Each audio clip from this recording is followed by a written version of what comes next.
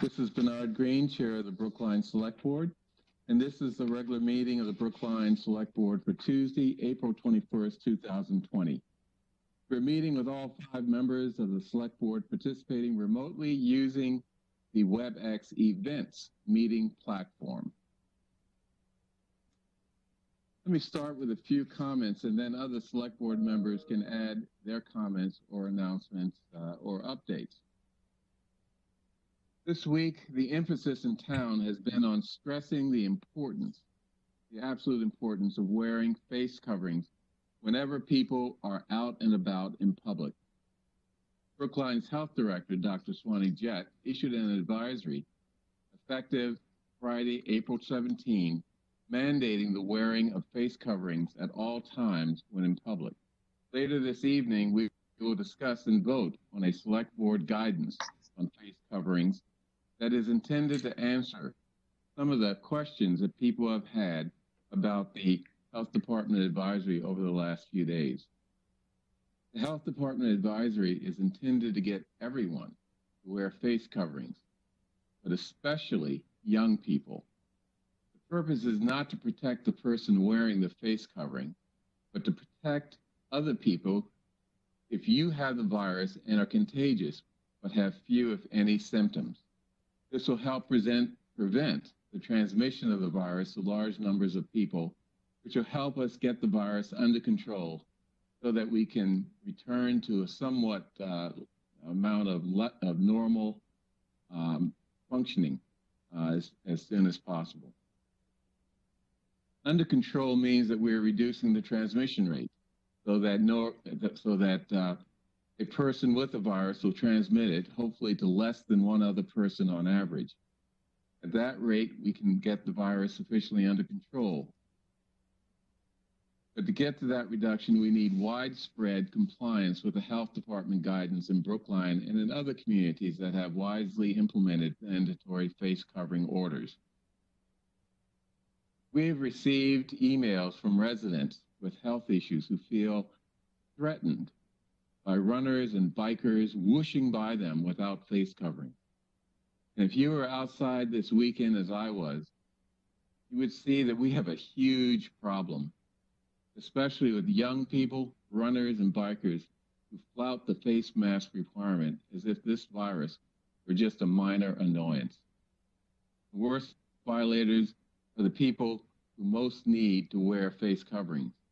Young and healthy people think they're invincible, and even if they contracted the virus, will likely not suffer any symptoms, but they will still be contagious. I've asked Dr. Jett to implement additional ways of impressing upon people the need to take seriously the requirement that they wear a face covering. And we'll talk about this a little bit uh, later. But Two of the ideas that uh, we are going to implement are sound trucks, like Boston is using, especially on paths that people use to run or bike, and more pointed signage in our parks and streets. Well, that's my view.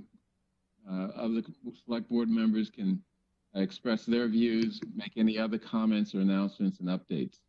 Uh, does anyone have any, anything else to uh, add to this?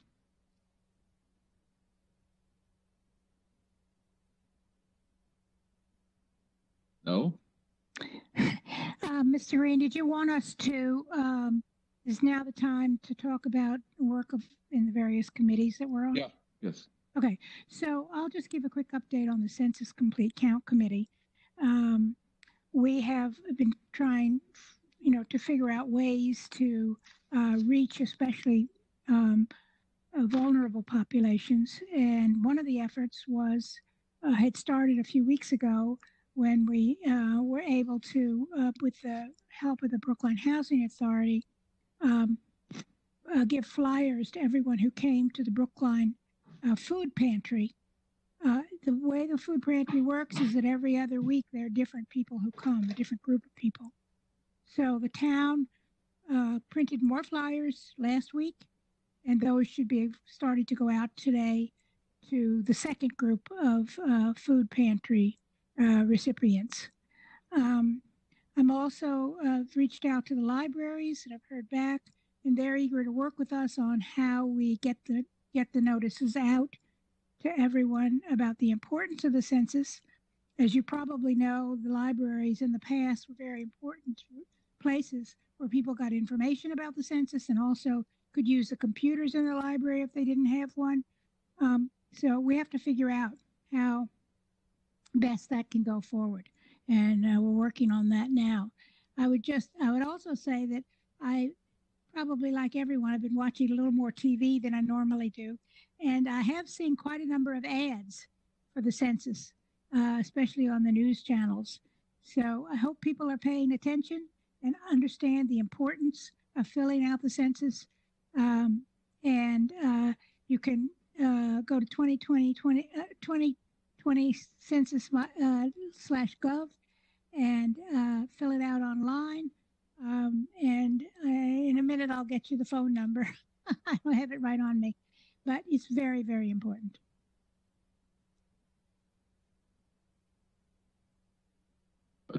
Updates or announcements. I can go ahead. Um, Fernandez. And just be clear that that website is my2020census.gov. My2020census.gov. Okay, I left out the my. Sorry about that. Um, I'll also um, just a couple quick things. One is um, this Thursday. If it's Thursday at 9 a.m., we have our Small Business uh, Development Committee virtual town hall uh, featuring uh, our phenomenal uh, staff from Economic Development, Kara Brewton and Meredith Mooney. Uh, so uh, please, even if you're just uh, interested to hear what's going on, there's been a lot in the news about support for small businesses lately. Um, you can go to brooklinema.gov slash calendar, and that'll get you all the info you need. Uh, by the way, for all of our meetings, um, how to how to log in using WebEx or Zoom or whatever the tool is that's being used there. If you just want to watch, you can watch a lot of these meetings also from home. Uh, if you have Comcast or RCN on the big channel, Brookline Interactive Group, or at brooklineinteractive.org. That takes you to a live stream if you just want to watch and see what's going on. So I encourage you to do that, not just for this virtual town hall, for but for all the meetings that are going on around town. You'll see on our calendar.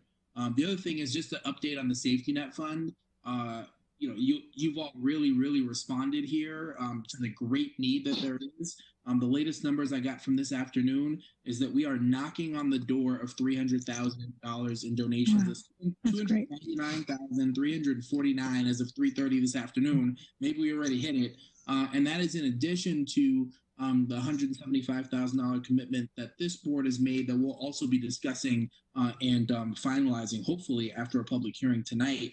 Um, with that said, the need is still very great. You see that um, that even from the very beginning of this, uh, we we did not know what, uh, for instance, April would look like, and and we don't yet know what May and into the summer is going to look like. Um, the need is still great. Uh, so please, if you can, if you're able, continue to contribute to the safety net fund, as well as a lot of the other great um, organizations out there doing the work, uh, like the food pantry and so many others. So I uh, hope you'll continue to do that. Thanks. Thank you. Any other updates or announcements or comments? Um, I I had two announcements. One, uh, I'll be leading a virtual town hall uh, for faith communities tomorrow morning at 10 a.m. Uh, information can be found on the town website. And then I also want to plug um, Harry, Harvey uh, Braverman's Soul Witness, the Brookline Witness Project, in honor of Holocaust Remembrance Day. If you visit, um, I believe it is soulwitness.org, uh, it is free to uh, rent or buy um, for a limited time. Great, thank you. Any other updates, announcements, or comments? I'll just give a quick update on the virtual town meeting uh, committee. Uh, the, that committee continues to meet uh, and uh, press ahead with the planning for the upcoming May, uh, excuse me, June town meeting now. Uh, next meeting, 7.30 p.m. tomorrow evening. Details on how to join that meeting on the town website. Um, I'll also put a plug in for anybody who hasn't yet, um, any town meeting member or town meeting candidate who hasn't yet filled out the survey that was circulated to you. Um, very helpful to us as we think about uh, technology availability and do planning for how we can make this June town meeting as smooth as possible. So please, uh, please com- uh, complete it and uh, and be counted. Um, and uh, let us know what your technology availability and needs are. Thank you, Ben. If uh, if I may, I'd like to give a shout out to Boston University, who is assisting with the uh, planning of the virtual town meeting.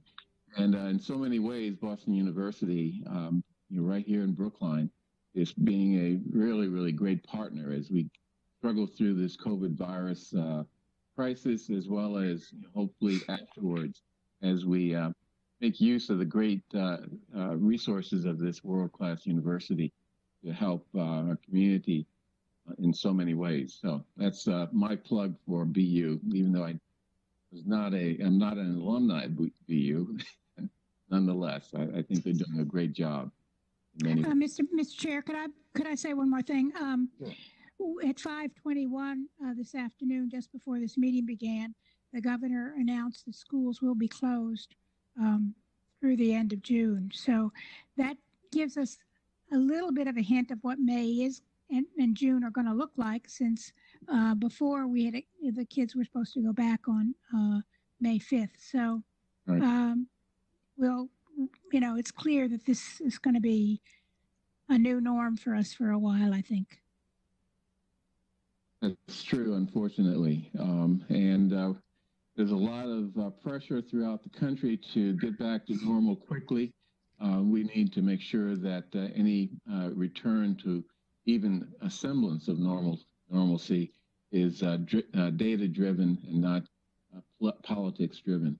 Um, I think that uh, in Brookline, we're fortunate that uh, we're not under that type of pressure, but still, um, you know, we, we can't uh, go back to normal unless um, until the virus tells us we can go back to normal. That's I think that's a critically important point. Uh, one one more thing I'd like to I'd like to say is that we uh, over the weekend I was speaking to a resident uh, about some issues with a nursing home and, and Star Market, but he said that he does not receive our telephone calls, and uh, it's because I think he does not have a landline. And so, for those people who may be listening, and and uh, I, I don't know, but apparently there is a place on the on the website called a box called notify me at the uh, upper right hand corner. If you go into that box there's a place to enter your phone number and your email um, so that you will get the most up-to-date information from the town Great, And you. you can use any phone number, uh, doesn't, doesn't require a landline. correct but I, Yeah. I think we, we get the landlines from verizon is that not correct Yes, and then it's up to people to add or, Right. or replace uh, their preferred number. Right. Uh, Mr. Chair, could I make one announcement, please? Sure. So, uh, and we've had some, um, questions about, uh, trash collection in terms of the volume of trash. Um, uh, obviously, there's a lot of people who are home and, uh, people are using that time to, to clean, a lot of cleaning going on. And so, um, one request was, uh, was to perhaps have some amnesty for the overflow bags. Um, I think what we've decided to do is, um, advance a amnesty day, um, every year or uh, maybe twice a year in our contract with our, um, our, our collection vendor, uh, they're obligated to provide two um, uh, days of pickup where uh, there's no limitation. It doesn't have to be in your regular size cart. So we are going to move that up um, to the week of May 11th. Uh, so more information will be coming on that. So for those of you who like to clean and declutter, um, May 11th is your week. Okay, great. Thank you. Anything else? I, I, I, let me just add, uh, I received a couple calls uh, regarding our um, reverse 911 calls uh, from people in the uh, Orthodox uh, Jewish community concerned about uh, receiving the calls during the time of their Sabbath. Just want to let you know that we've we've heard those concerns, and we'll make sure that in the future calls go out before sundown on Friday, so that uh, everyone has an opportunity to uh, receive the information that uh, we're putting out to the community. Um, so. Devin, Um, are there any? I'm sorry. Go ahead. Sorry, I, I had a follow-up question to what uh, Mr. Kleckner was talking about with the trash collection. Um, I know that we had been doing, uh, I think it's called the pink bag with clothing donations. Is that temporary, uh, temporarily suspended? Is that included on the amnesty day? I know I've been one of the people cleaning stuff out, and one of the things I'd like to get rid of are the bags of clothes. Um, I've tried to take them to some of the donation uh, centers, but their boxes are overflowing. And I think some of the uh, places won't accept them for the time being because of the risk of contamination. Um, so good question. I don't have the answer right now, but I, I will before this meeting's over. The, the pink bag program is separate from the amnesty program we're talking about, but I'll find out um, if they're not being picked up and why and what the plans are for doing that or perhaps some alternative uh, methods. Thank you. Great. Okay, anything else? Okay, um, Devin, have we received any requests to uh, make public comment? No one signed up for public comment in advance uh, this week. We do have about 10 or so residents um, who have joined us as an attendee in this WebEx event. Um, so they can, you know, either chat me privately or use the hand raise feature to identify that they'd like to speak um, in public comment. Um, but no one has has formally requested at this time. Right. Um, I see that um, uh, Bob Miller has uh, put in a comment about signage in uh, grocery stores, I think we, we can talk about that later on um, in the meeting when that's relevant. So, okay, anything else? Okay, uh, calendar. First question of approving the minutes of the April 10, 2020 and April 14, 2020 select board meetings. Um, any questions or edits, corrections to those minutes? Okay, I gave some uh, edits um, and uh, I move approval of the minutes of first April 10, 2020 um, as amended. Uh, all in favor, Mr. Franco? Aye. Ms. Heller? She said hi, aye. Uh, Aye. Um, Ms. Hamilton? I was muted. Aye. Uh, Mr. Fernandez? Aye. And chair votes aye. Uh, I move approval of the eight, uh, April 14, 2020 minutes. That was our special meeting uh, on Friday. Is that Friday or? Thursday, I believe. Whatever. Thursday. Okay. Um, all in favor of those uh, minutes? Um, please indicate by saying aye. Mr. Franco, Aye. Ms. Heller, Aye. Ms. Hamilton, Aye. Ms. Fernandez, Aye. and chair votes aye.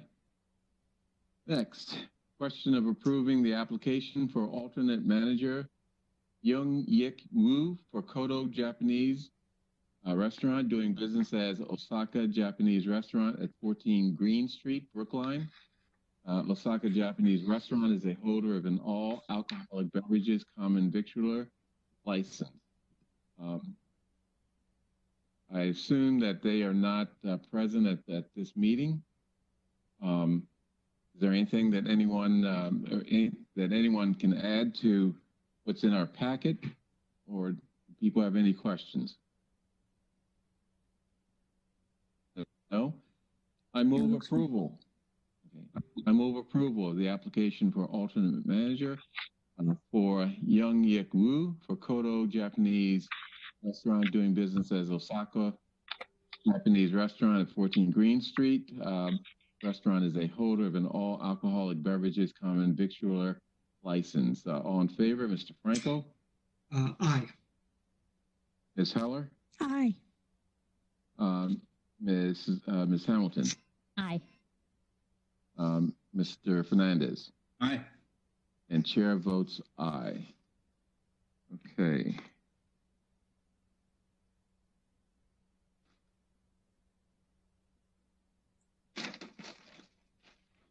My studio here is not as uh, efficiently organized as it can be, so let's move on. Human Resources, question of permitting effective March 13, 2020, vacation time to accrue in excess of the six or eight week limits in the cases of affected non-union town and Brookline employees through December 31st, 2020. Um, on July 1st, 2021, the beginning of the next fiscal year, the accrual limits will be reinstituted. Uh, Mr. Uh, Kleckner, is there anything you want to add to that or?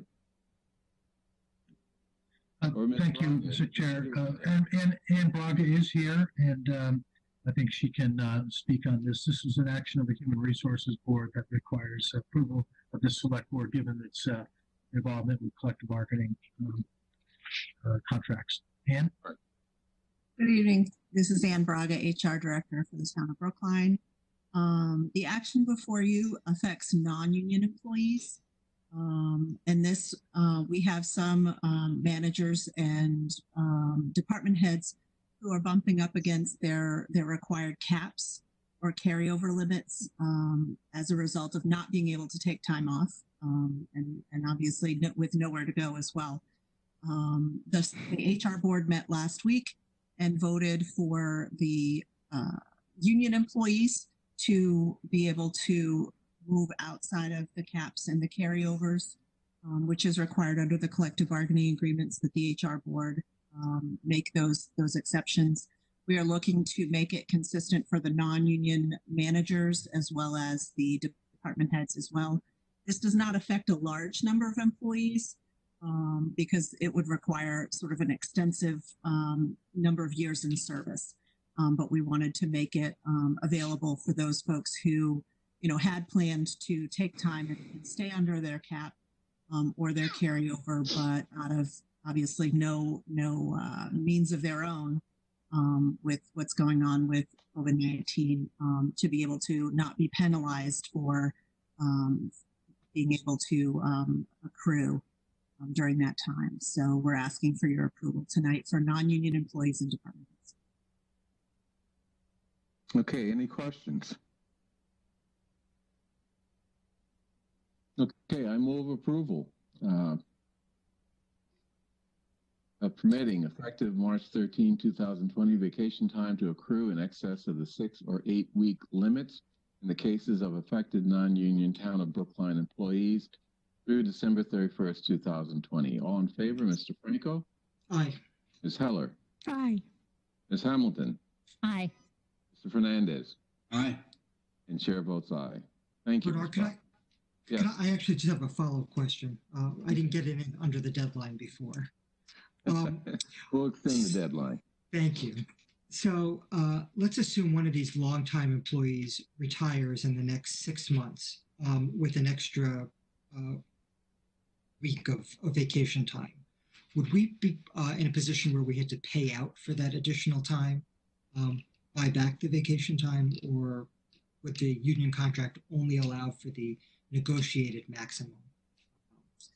So if it's a long time, are you talking a union employee or a non-union employee? Not that it matters, I guess. So either way, um, they they would um, because this vote has happened of the HR board in the case of a union employee and the select board of a non-union employee, um, we would be um, required to pay that out.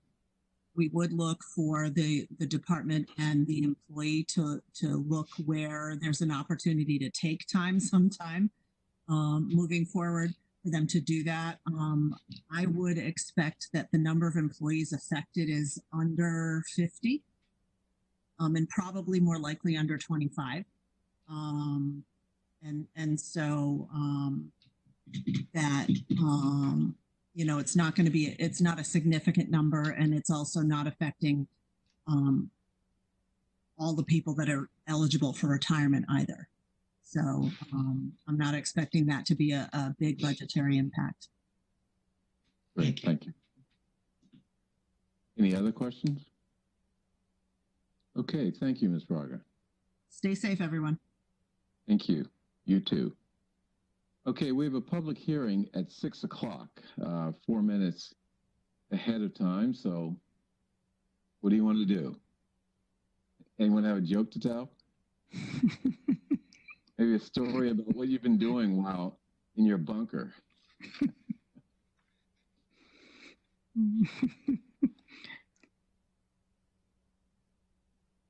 I've been cleaning also, and I found a lot of clothes that no longer fit.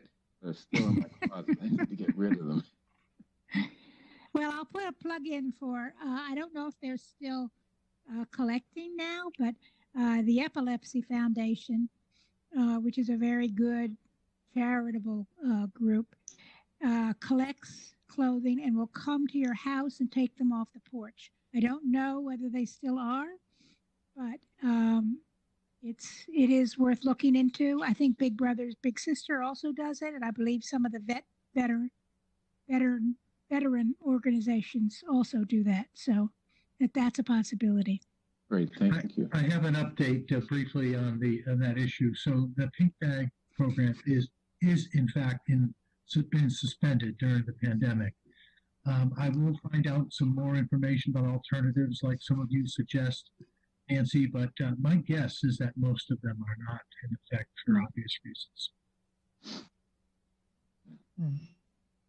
I'll use this uh, opportunity to plug uh, one more organization who's having an event next week. Uh, Steps for Success usually has a very big fundraiser uh, this time of year, and they've uh, retooled and they're going to go virtual. So next Wednesday evening, the 29th, they will be doing a uh, virtual uh, event. So I'm sure you can find more information on their page. I assume it's going to be a bring your own bottle. okay. Uh, while we still have two minutes to go, I did want to just let everyone know um, the way that we are going to take comments for public hearings moving forward um, is, of course, you're eligible to send in your comments ahead of time, and then those will be shared um, during the public hearing. But also, if you join the WebEx event as an attendee, either by phone or um, using the WebEx application, you can raise your hand and privately chat me, and then we'll promote you to a panelist and enable you to give your feedback in the public hearing. And that's how they'll they'll work moving forward. Uh, Devin, have you received any comments uh, for the two hearings we have tonight? We have not. No.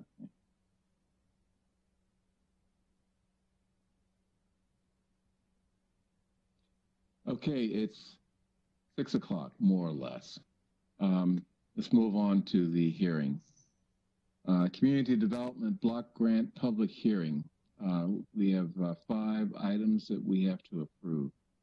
Uh, first, approval, approve a substantial amendment to the town's fiscal year 20 uh, annual action plan in support of the Brookline Community Health Center's safety net program.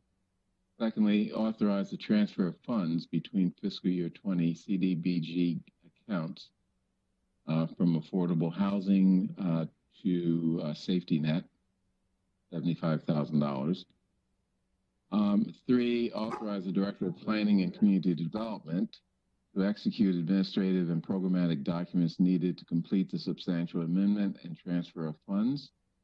Four, authorize and approve the chair to execute a contract between the town and the Brookline Center for Community Mental Health for the Safety Net Program.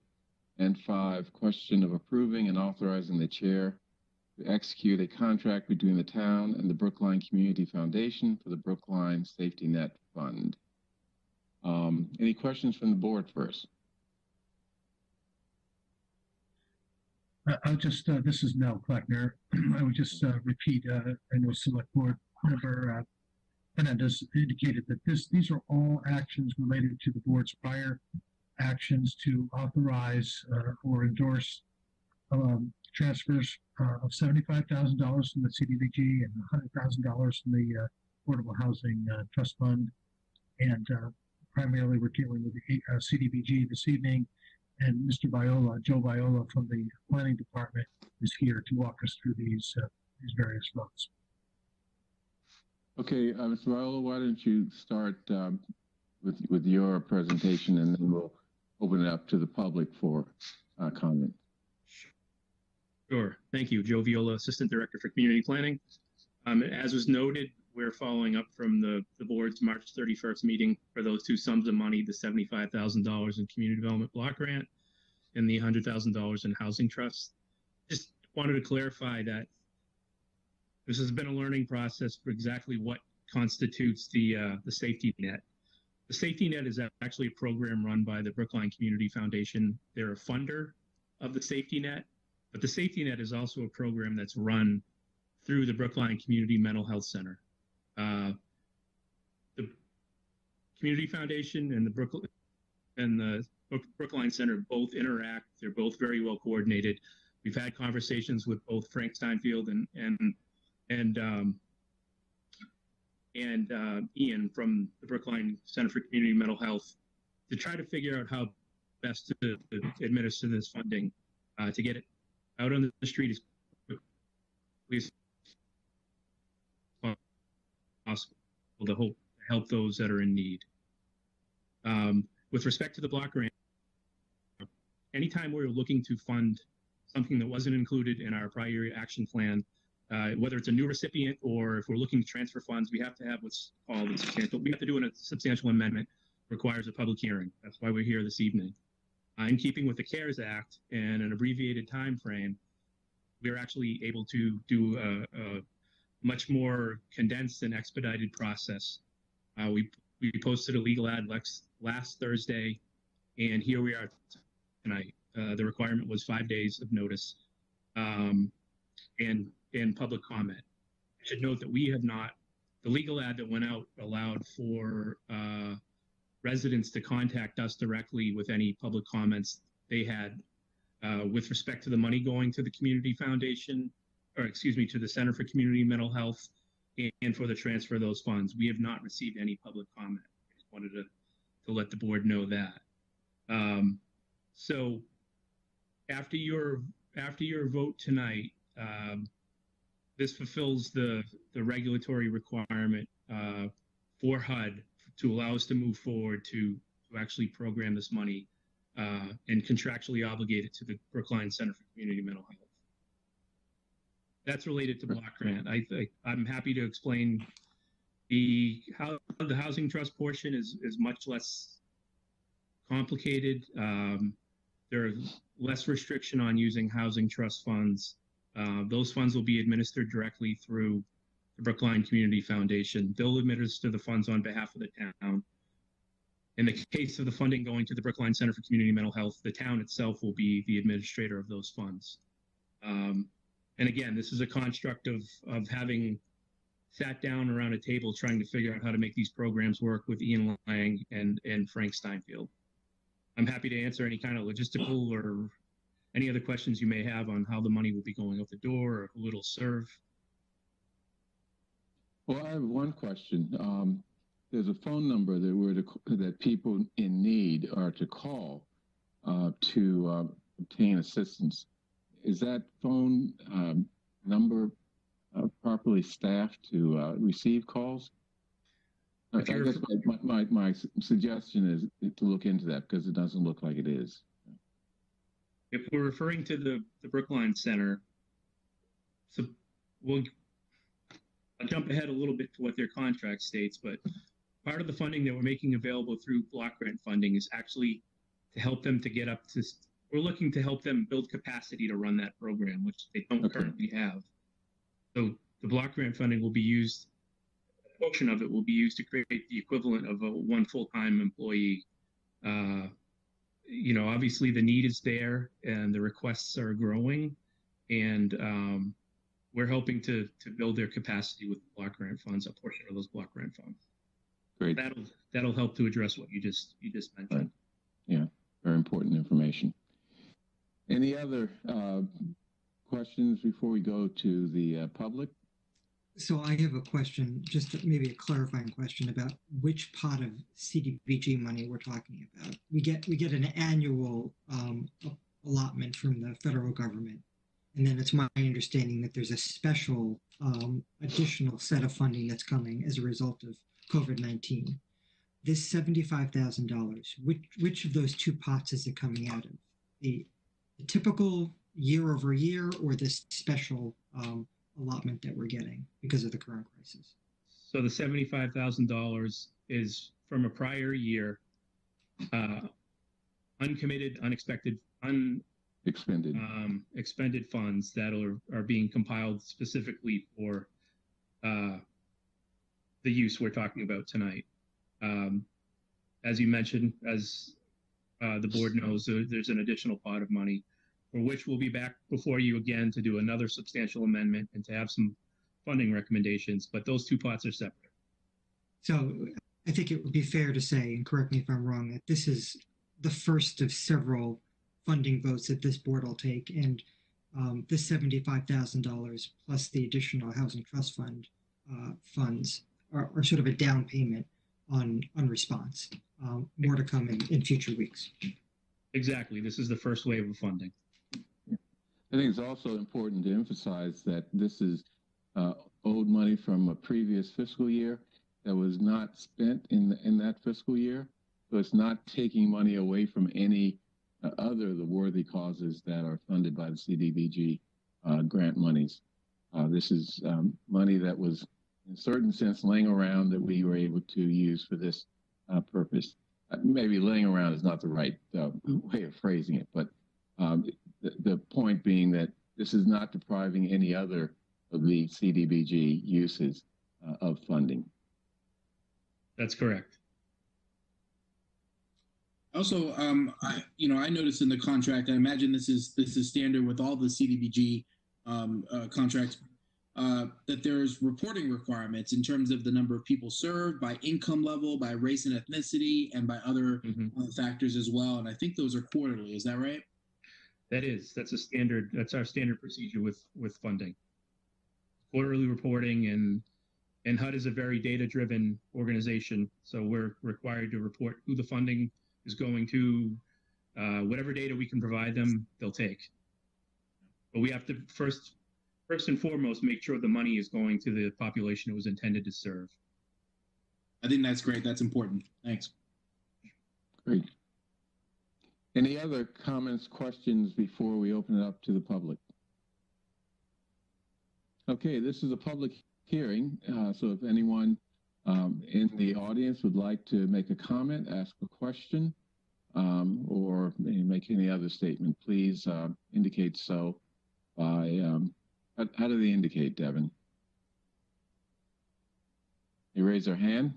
Yep. So they would raise use the hand raise button, or uh, feel free to chat me uh, directly, and then I would just promote them to a to a panelist role. Are you receiving any interest in uh, making a comment? I have not yet received interest, um, but An- Any other discussion from the board while we're waiting to see if the public uh, would like to chime in? So maybe this question was answered already, but who is uh, determining the eligibility? Um, is it town staff, or is this really done done primarily from the uh, external organizations, the Brookline Center? So in the case of block grant funds, the center does all the, they do all the intakes and they do all the verification. They maintain files and, and periodically we have to monitor them to make sure the money was going to the intended recipient. But they're on the front lines dealing with the intakes and, and, and, uh, and making sure that the funding is going to who it's supposed to go to. And, and we're just, I'm sorry. No, I'm sorry, I interrupted you. So we're just, we are an administrator of the funds. They do the frontline work, maintain all the files, and we, over the course of the year, meet with them periodically to be sure the program's being run as it was intended to run. They're making the decisions about who the funding is going to. So what percentage of our seventy-five thousand dollars is going to the administrative purposes that you mentioned earlier? Staffing the uh, telephone lines, et cetera? Right. So of that 75, it's a $45,000 administrative, $30,000 direct services split. And the reason for that, um, again, it's it's a down payment. It's to build the capacity for an expected allocation later. So when that additional $800,000 whatever portion makes its way to the safety net program, they're up and running and they can they can get that money out the door as quickly as possible. Right. I'll, just say, I think, uh, Yep. I'll, I'll just say, I think, Yep, I think it's important to um, uh, to provide services as fast as possible, and I'm convinced that the quickest way to do that is to go to an existing organization that already is interacting with folks um, and has the the knowledge and the capability to provide services. It's a it's a lot more difficult to uh, try and get money out the door to those in need while figuring out uh, how to disperse it, the criteria by which to judge need, uh, and to do the oversight. So I think, um, and we had this conversation a few weeks ago when we first talked about this, but giving the money to the um, to the community mental health center is the is the right way to go. It's uh, it, it fills the need in the fastest way possible um, and gets it into the hands of those who who really need some assistance at this difficult time. Right. Good point. And we're lucky that we have two institute, two, uh, two charities that are credible, reputable, and uh, can get the job done efficiently. So, Devin, anyone uh, in the public interested in chiming in? Not at this time. Okay.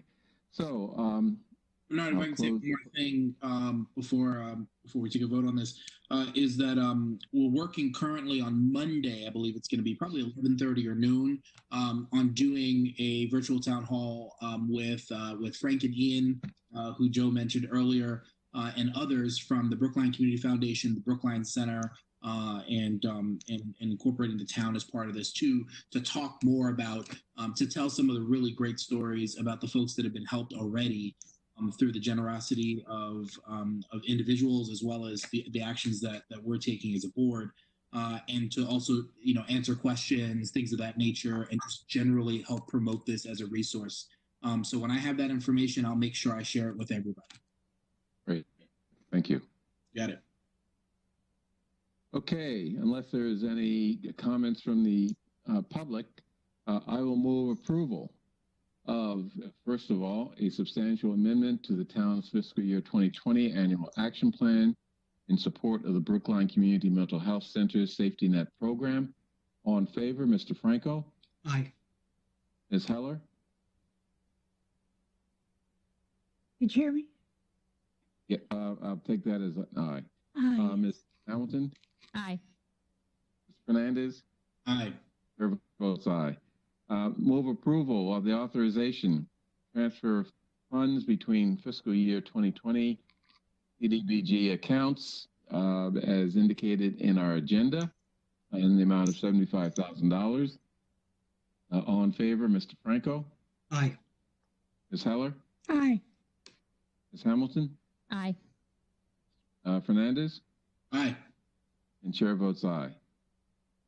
Move approval of authorizing the Director of Planning and Community Development or her designee to execute administrative and programmatic documents needed to complete substantial amendment and transfer of funds. Uh, all in favor, Mr. Franco? Aye. Ms. Heller? Aye. Ms. Hamilton? Aye. Mr. Fernandez? Aye. And chair votes aye. Next, move approval of approving and authorizing the chair or his designee to execute a contract between the town and the Brookline Center for Community Mental Health for the Safety Net Program. All in favor, Mr. Franco? Aye. Ms. Heller? Aye. Ms. Hamilton? Aye. Mr. Fernandez? Aye. And chair votes aye.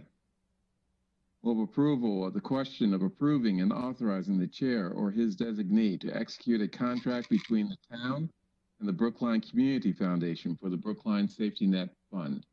All in favor, Mr. Franco? Aye. Ms. Heller? Aye. Ms. Hamilton? Aye. Mr. Fernandez? Aye. And chair votes aye. So we've gone through those five and let's get off, or let's uh, get moving to help people who are really in need of help during this uh, COVID uh, crisis. Next, uh, noise bylaw waiver. again, a public hearing. Um, Mr. Chair, uh, you may notice that the public hearing is scheduled for six thirty. So, uh, we have fifteen minutes and, maybe rather than, um, just try to fill it in with updates, is it possible we could move to some of the issues under, under number eight, or is that gonna take too long? There were a couple other matters, as you, as you recall, that you were gonna raise under mitigation activities as well, so maybe you could do that now. Those are the two Right. matters that came up. So um, the, the two items that I think everyone has um, received the materials uh, have to do with the uh, fees that uh, delivery services are charging to restaurants who are making deliveries to people who are uh, bunkered down in their homes. Um, and you know, the, the, thought here is that we would uh, prepare an order of the select board to be voted next um, along the lines of the Somerville uh, ordinance uh, to address this issue.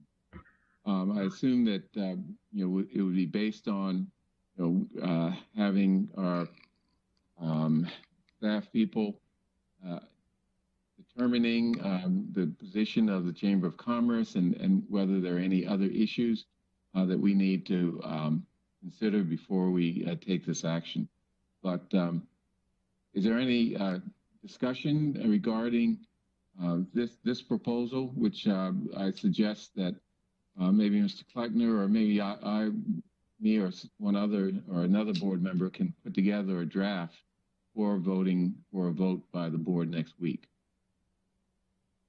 So it's my understanding that we're talking about delivery services from um, uh, delivery fees from services like Grubhub or Uber Eats. These um, these services that hire independent contractors and serve multiple restaurants. Uh, and the, the the action that you're contemplating is that we send an order limiting the, the amount of those fees. Um, is that is that correct? Correct. Correct. Well, if, if the fees are that as high as, uh, you know, have been indicated, I I think it is appropriate to look at it because the restaurants are hurting. And, uh, it's a time, time when everyone, um, needs to, you know, um, step up to the plate. So it- Yeah. It may, it, I, I think we should, I think we should look at it and devise our own, uh, see what, see what the situation here is in Brookline. And are, are the delivery services here charging um, what they are in other communities? We just don't know that right now. So we should know it. We should know the facts and then and then work on a um, Right. our our position about it. So what I'm suggesting is that you know staff uh, compile that information and present it to the board, and we uh, put together a proposal that we'd vote on next week. Is that And- going to work, Mr. Kleckner? Yes. Okay. So um, I just have a few questions that I would like addressed, um, you know, in the proposal for next week. Um, I- in town meeting, whenever a warrant affects businesses, we've found that some of the petitioners do a very good job of alerting businesses that are going to be impacted by the warrant article, uh, and then some warrant article petitioners do not. Um, and I see this as a potential here that we should really notify the businesses that are going to be impacted. And by businesses, I actually mean Grubhub um, and some of the other delivery service providers. Um, I think that it will be worthwhile to hear from them as to why they're charging what they're charging. Uh, because what I don't want to have happen is for us to pass something and then for it not to be economical for them to be able to keep providing the service and then we have a problem down the road where you know people can't get delivery um, so uh, just want some reassurance that the companies that we're talking about have the opportunity to um, to weigh in Yeah, No, I think I think that was the idea. That's a very important point, um, Ms. Hamilton. I think the idea was that uh, staff would um, work both with the Chamber of Commerce and I assume reach out to the Grub Hubs and other delivery services you know, to make sure that they their views um, and and um, the details of their uh, fees and, and contracts uh, are, are are made known to the select board before we act. But, you know, Thank you.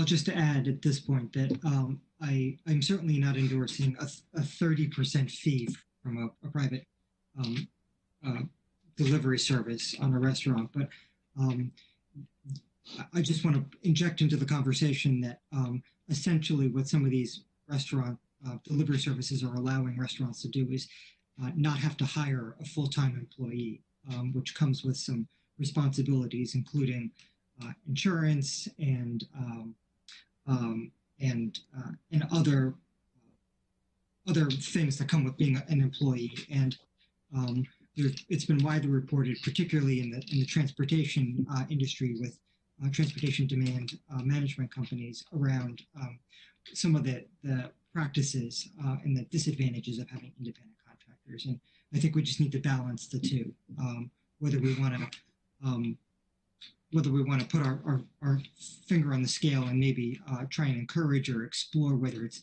feasible to have uh, employees hired by restaurants as opposed to uh, promoting um, or advantaging these uh, these private delivery services. Um, the other- think that's, ab- yeah. Um, the sorry, other question, the, one of the other questions I have, and I have no idea whether, you know, this is in effect or not, but do the restaurants pass these fees on to, um, the people who are receiving the food? Uh, so I, I don't know if they do or not. Uh, apparently in Somerville or another community, they may not, but maybe they do it here. I don't know. Uh, but I do know when I order from, um, um, a recent order from a grocery, it was Instacart was the deliverer, and uh, there was a, a tip that was charged. Uh, so, uh, you know, while they say it's free delivery, it's not really free delivery. There is a tip, which is appropriate, frankly. But uh, uh, so, I don't know how that works. Uh, I'm also interested.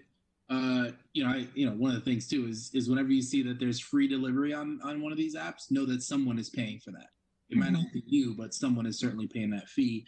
Um, you know, I think we've got to as much information as we can get. Everything that's been asked for so far is going to be really important to think about some of the unintended consequences of, uh, of this. Some of these delivery companies might decide it's not pro- it's not worth worth it to be in business with some of our some of our small businesses that we love for instance so we really got to think this one through and um, if there's any um, information on the the conversation that took place i think i don't know if that was somerville or cambridge that we received that information about um, uh, but if there was any information there it looks like cambridge actually uh, it, it, that we can learn from before we make a decision here i think that'd be really helpful uh, and i will the other the other question i had was uh, is this within our power all along? Uh, you know, is this is this this very specific COVID related power that we're that we're we're contemplating using right now, or if COVID wasn't here or some point in the future, is this is this something within our power anyway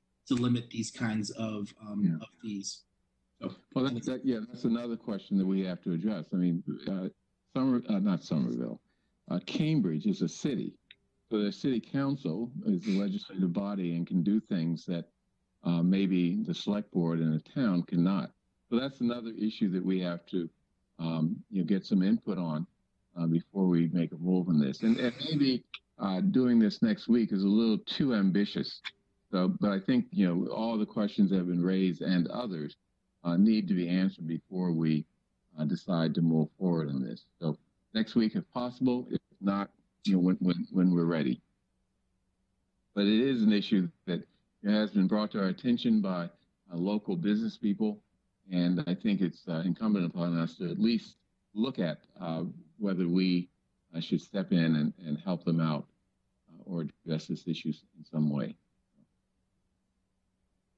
So, uh, so uh, um, Mel, uh, your staff has uh, some homework on this.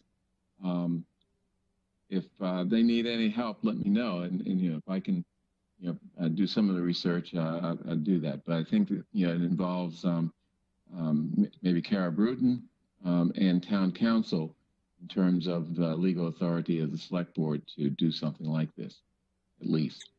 Yes, yep, we'll, we'll do, doing that homework for next week. Right, okay, good.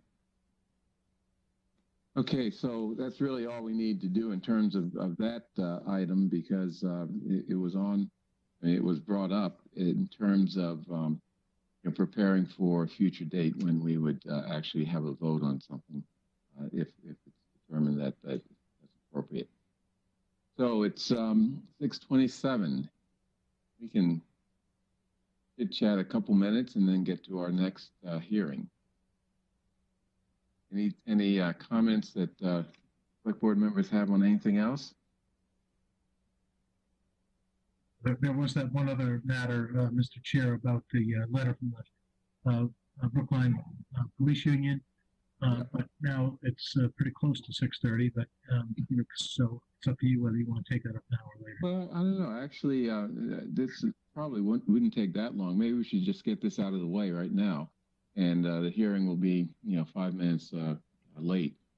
So is that okay with other people? Okay. Um, so a letter from the um, uh, which union was this? Uh, union of uh, First Responders regarding a um, a bill before the legislature that would uh, create a presumption that uh, a, uh first responder who contracts the um, COVID virus, COVID 19 virus, um, obtained that or uh, contracted that virus from their work setting. So the presumption is, is that it's work related. Uh, this is similar to similar to other presumptions related to um, uh, firefighters, for example, contracting uh, cancer is presumed to be work related. And uh, I think there are a number of other presumptions uh, in the law that you know do cost the town um, a not insignificant amount of money, but are type of um, provisions in the law that are intended to help um, our first responders who are um, facing uh, great danger, both uh, you know physical danger as well as uh, health-related danger uh, in their jobs. So, um, Mr. Kleckner, do you want to add anything? Um, no, other than to say we were aware of this uh, legislation, um, and I made the, the, decision, you know, not to um, certainly not to oppose it, uh, but I, I didn't I didn't bring it up to the board. I, I know I note that the Massachusetts Municipal Association uh, has formally voted to oppose that, but that's not a big surprise because uh, you know they're always opposing uh, mandated programs. Um, but uh, you know, at this time, with the first responders doing what they're doing, um, I'm certainly not uh, suggesting we oppose the bill. I think it will pass, and um, probably appropriately so. So what what's the practical difference between uh, today, what happens, and what uh, would happen with if this bill were to pass? Does it just allow uh, first responders access to their sick time? Yes, I believe so.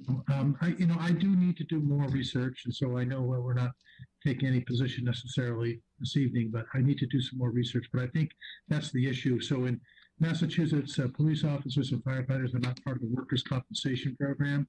They're part of a, a state system called, uh, well, we short short uh, word for 111F, which is the section of the law that it relates to, and um, uh, so it it provides tax-free income and uh, other benefits uh, uh, other than workers' compensation. So, uh, We- I guess, yeah, yeah, I'm sorry. Go we, ahead. uh, you know, this is a, what is the right thing to do?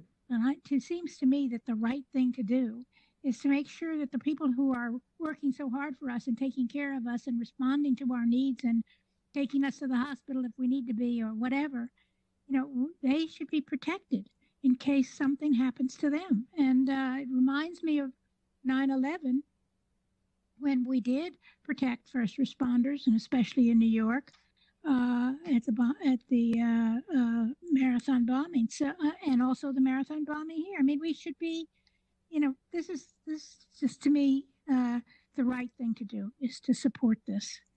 So I'll just say that. Yeah. Okay. Uh, and, and, you know, Brookline uh, always supports its first responders. This is not as if uh, this is something that, um, you know, they should be concerned with in, in general terms. And, and I think it's appropriate for us to, to support them by um, our advocacy for this bill in the legislature. But um, you know that's something that um, um, you know we need to do further uh, research on in terms of just making sure that uh, the way that we advocate is is uh, effective um, and, and and appropriate. So, uh, Mr. Kleckner, um, I guess someone needs to prepare. First of all, do any research necessary, but then prepare uh, the le- the uh, letter to the um, legislators that we are being asked to by the uh, Brookline Police Association. Is that something that uh, board members should take up, or that's start out? Any board member would like to do would like to do that, and receive whatever um, you know research and other information that Mr. Beckman is able to pull together. I'm happy to do it if, if you need a volunteer. Okay, Franco, great. So, I um, want to chime in on this issue if I get a chance. Um, Sure. And and that is in, in addition, uh, associate myself with um, Ms. Heller's comments. Uh, but in addition, I think it's it's not just about first responders. We're calling on a lot of town staff to to show up, and um, there are some that can work from home, um, but there are many others um, that, because of their job, are required to actually interact and engage with either one another or members of the public. Um, I put in a request very late this afternoon, so I don't expect a response yet. Um, but to, to understand um, what our sick leave policy is, um, and for us to maybe have a conversation about it if we need to, related to if any one of our of our staff that are being asked to come in uh, for their duties acquire COVID in any way, shape, or form, whether or not um, any sick time that they would take would count against um, what they have in their allotment right now. Um, I certainly think it shouldn't, uh, because you know we're, we're asking them to come in and be essential and do this work. Uh, and uh, so, um, so I'm, I'm anxious to hear back about that in the coming days, uh, and and maybe that's something that we can take up as well if we need to. great, okay. Is that something that um, if someone can pull together, um, Mr. Kleckner? I will, we will, yes. Okay, okay, great. Um, so uh, we'll we'll take that up uh, hopefully next week, and um, right now move on to our 6:30 hearing. Uh, question of approving the noise bylaw waiver um, for the installation of a test well as part of the construction on the Michael Driscoll School on May 2nd to May 4th of uh, this year. Um, any um, information we need to uh, to be added to what's in our packet? Uh, well, Mr. Chair, uh, uh, Tony Quigley is here, who's the project manager, um, town's project manager on this project, and can answer any questions you have. I believe this is pre-construction. This is, you know, doing certain uh, tests that will help inform the the uh, final design. Yes, good evening. This is Tony Quigley with the Building Department. Um, uh, this indeed is part of the uh, pre-construction activities. Uh, right now, we're heavily engaged in uh, uh, determining existing conditions uh, out at the building. And uh, this test well is for the planned geothermal uh, system to heat and cool the building as part of the uh, this particular project's approach to the fossil fuel uh, directive for the building. And uh, this test well is currently being drilled now. Uh, they started it yesterday. I wasn't able to get out there today because I was at the water garage most of the day for other issues, but I was there. I understand they're making good progress. And at the end of the drilling of this test well, uh, the well has to actually cool off for a week, and then uh, we need to run uh, a fluid through the well, uh, pump it through for 48 continuous hours in order to um, uh, gain information as to uh, that would inform the design, the number of wells that we'll need, how deep they're going to be, et cetera, et cetera. So the noise bylaw waiver request uh, applies actually to that 48 hour period, which is planned to begin at 8 a.m. on May 2nd and be complete at 8 a.m. on May 4th. And again, it's uh, uh, it's you have to run the uh, liquid through the uh, test well for 48 hours continuous to be able to gather data. Is this a loud process? I, I, running water through a well? I mean, I guess No, don't it's it's the entails. generator.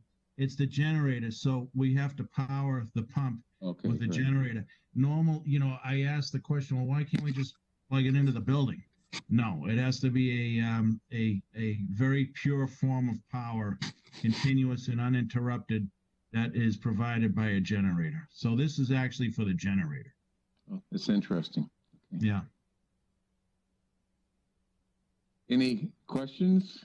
Do you know how loud it will be? I mean, is it like is it like the backup uh, lights on a truck, but backup noise on a truck, or is it like uh, you know, or a jackhammer, or is it just sort of a, a steady kind of noise that?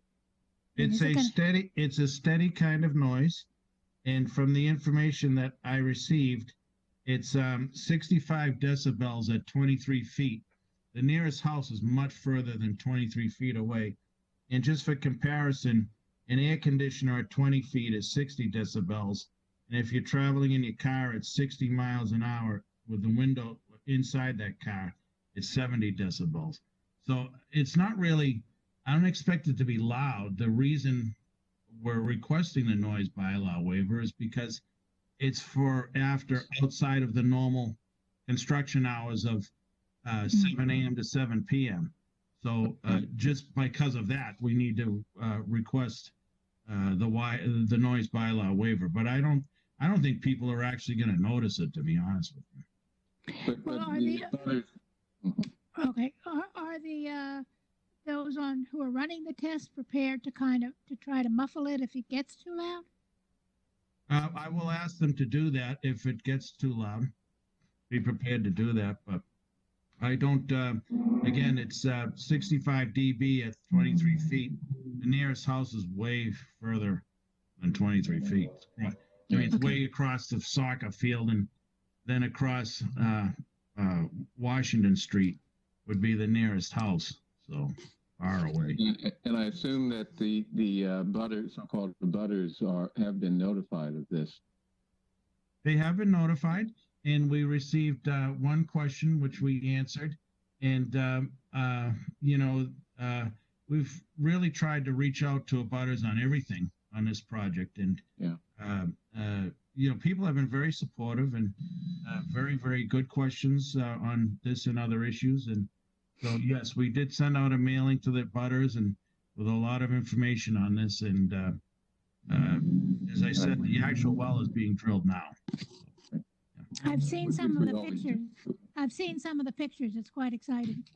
It is. It's very exciting. Actually, I've never been involved in a geothermal project, so it's uh, personally for me very exciting. And uh, I can tell you that um, we're going to try and unturn every stone we can to determine, uh, not just on this is- issue, uh, existing conditions. You know, to inform the design as much as possible and avoid change orders. Which, um, so we're heavily into that and uh, we're going to be doing some uh, testing inside the building at the end of the month for uh, materials testing. We're going to be opening up walls and what have you uh, while there's no school in session. So uh, the downside of the COVID thing, obviously, is you know that's that's well known. But the upside is we can get in there and do things that give us enough time to try and uh, determine existing conditions. Tony, we're also getting a question from a member of the public about the um, fact that the, some condos and apartments on Westbourne may may not be as far as the houses. So, uh, do you know how far those condos and apartments are? Um, they're closer. The where the generator will sit in those um, condos on Westbourne. I see. So the at the so the physical presence of the building will help to muffle that sound. Yes, because the it's going in the corner of the building where the where the entry to the gym is. So uh, the building's actually in between where the generator is and the uh, buildings on Westbourne. Okay.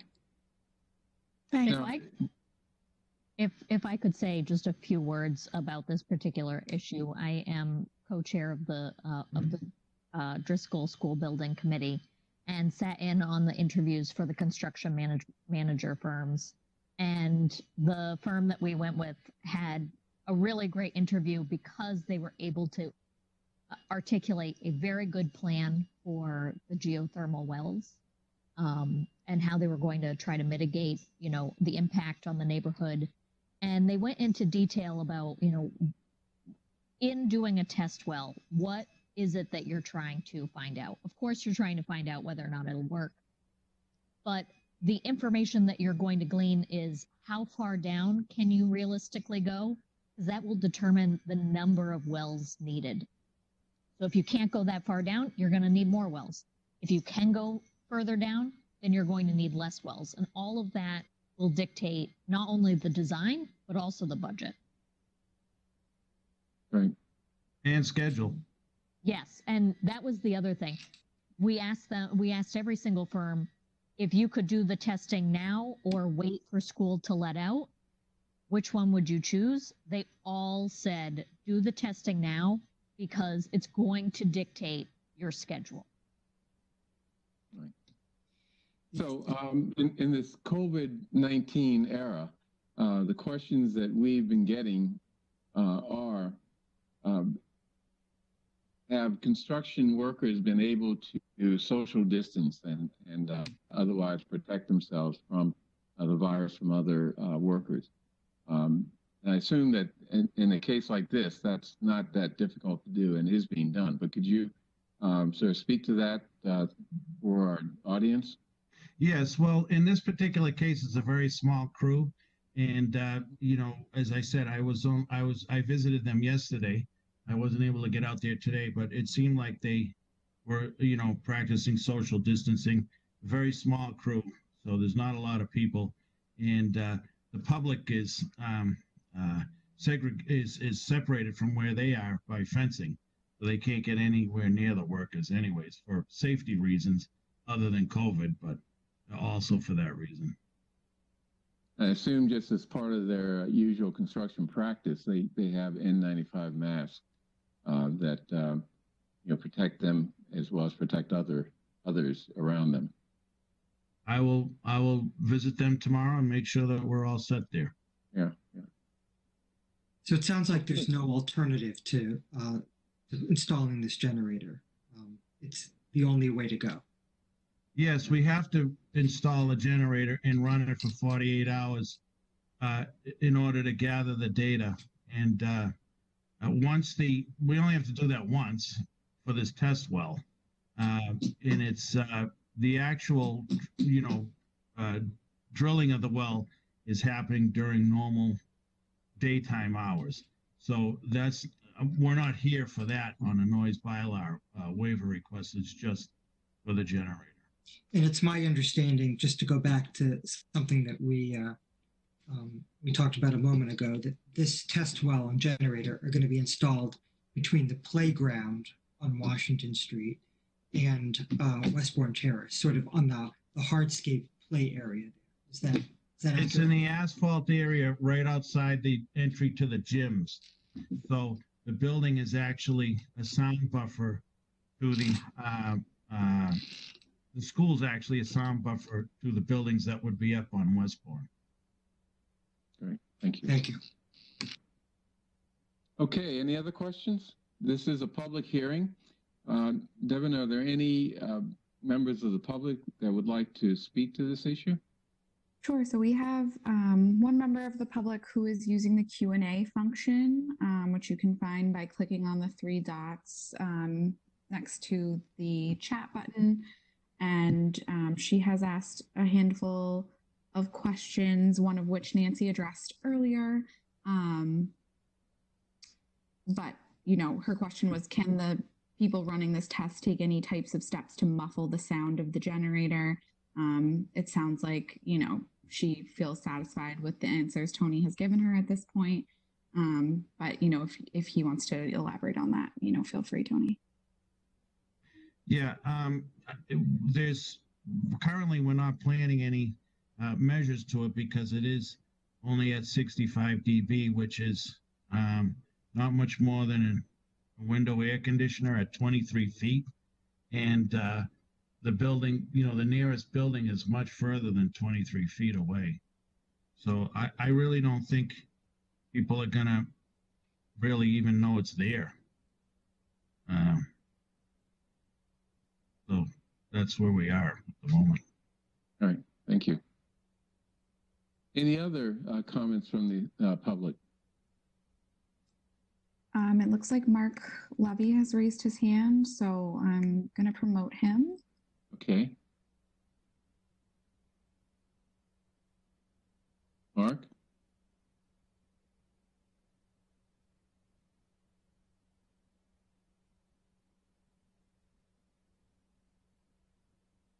Has he been successfully promoted? Has. Mark, uh, you have a question?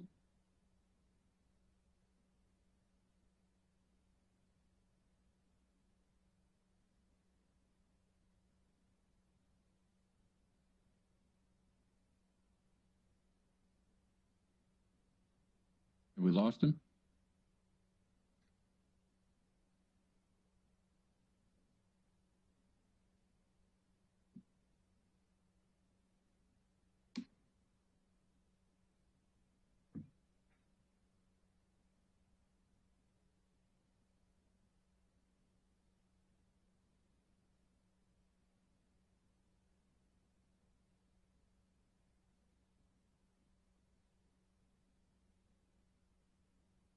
Okay, looks like we've we, we've lost that comment.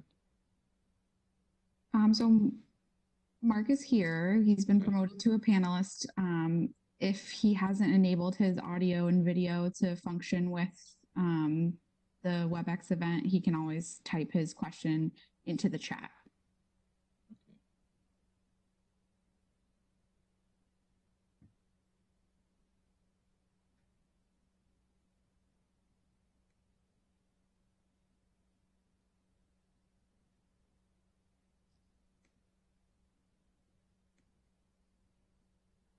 Is he typing? No. Okay. Nope. So we can always um, come back to him if he has a question for the for the noise bylaw hearing. It doesn't look like there are any other comments at this time. Any uh, questions from the board or comments from the board? Further comments or questions? Okay, then I will move approval of the noise bylaw waiver for the installation of a test well as part of construction on the Michael Driscoll School during the period May 2 through May 4. All in favor, Mr. Franco? Aye. Ms. Heller? Ms. Heller? Uh, Ms. Hamilton? Aye. Mr. Fernandez? Aye. Merc- I'm an aye. Ms. Heller? Okay, I'm aye. and, and chair votes aye. Oh, thank you. Thank you very much. Good Um, evening. sorry, Tony, before you head out, Oh. uh, Mark was able to submit his question. He Okay. asked, does the sound measurement include ground transmission of low frequencies? No,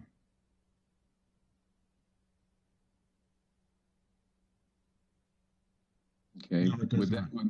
Would, would, that, um, would that make a difference in terms of, uh, the, uh, obstruction between the generator and the, the houses on Westbourne?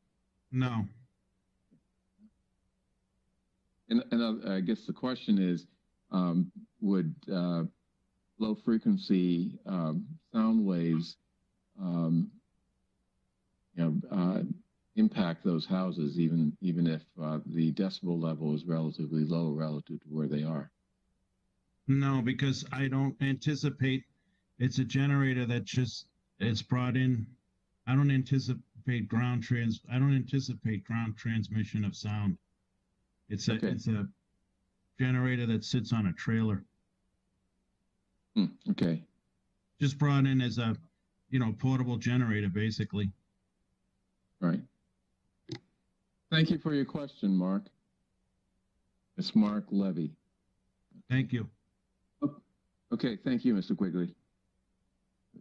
quickly. Um, next, presentation of uh, COVID-19 public health and demographic data. Tell me what this is about. I assume it's, uh, it's, it's uh, Dr. Jett's uh, demographic data uh, of um, um, the number of cases uh, in, uh, contracted by Black, Hispanic, and Asian residents of Brookline, um, which is an issue that's uh, greatly discussed around the country, um, exposing disparities in health out- health outcomes from the virus and um, reflecting the underlying disparities in access to health resources uh, that exist in this country, unfortunately. But fortunately, uh, not as badly here in Massachusetts, where uh, most of the overwhelming majority of people are covered by health insurance, and we have uh, fairly um, excellent uh, health resources, you know, for people who um, uh, come down with various illnesses, including uh, COVID. Although um, our ability to deal with that um, from the standpoint of the health institutions is somewhat limited. But at any rate, uh, so is Dr. Jett available to um, present this information? Yes. Okay. So go ahead, Dr. Jett. Okay, so I believe what you have in your packet um, is the data from last week that I presented. And, you know, the numbers really don't show any disparities um, in terms of race and ethnicity.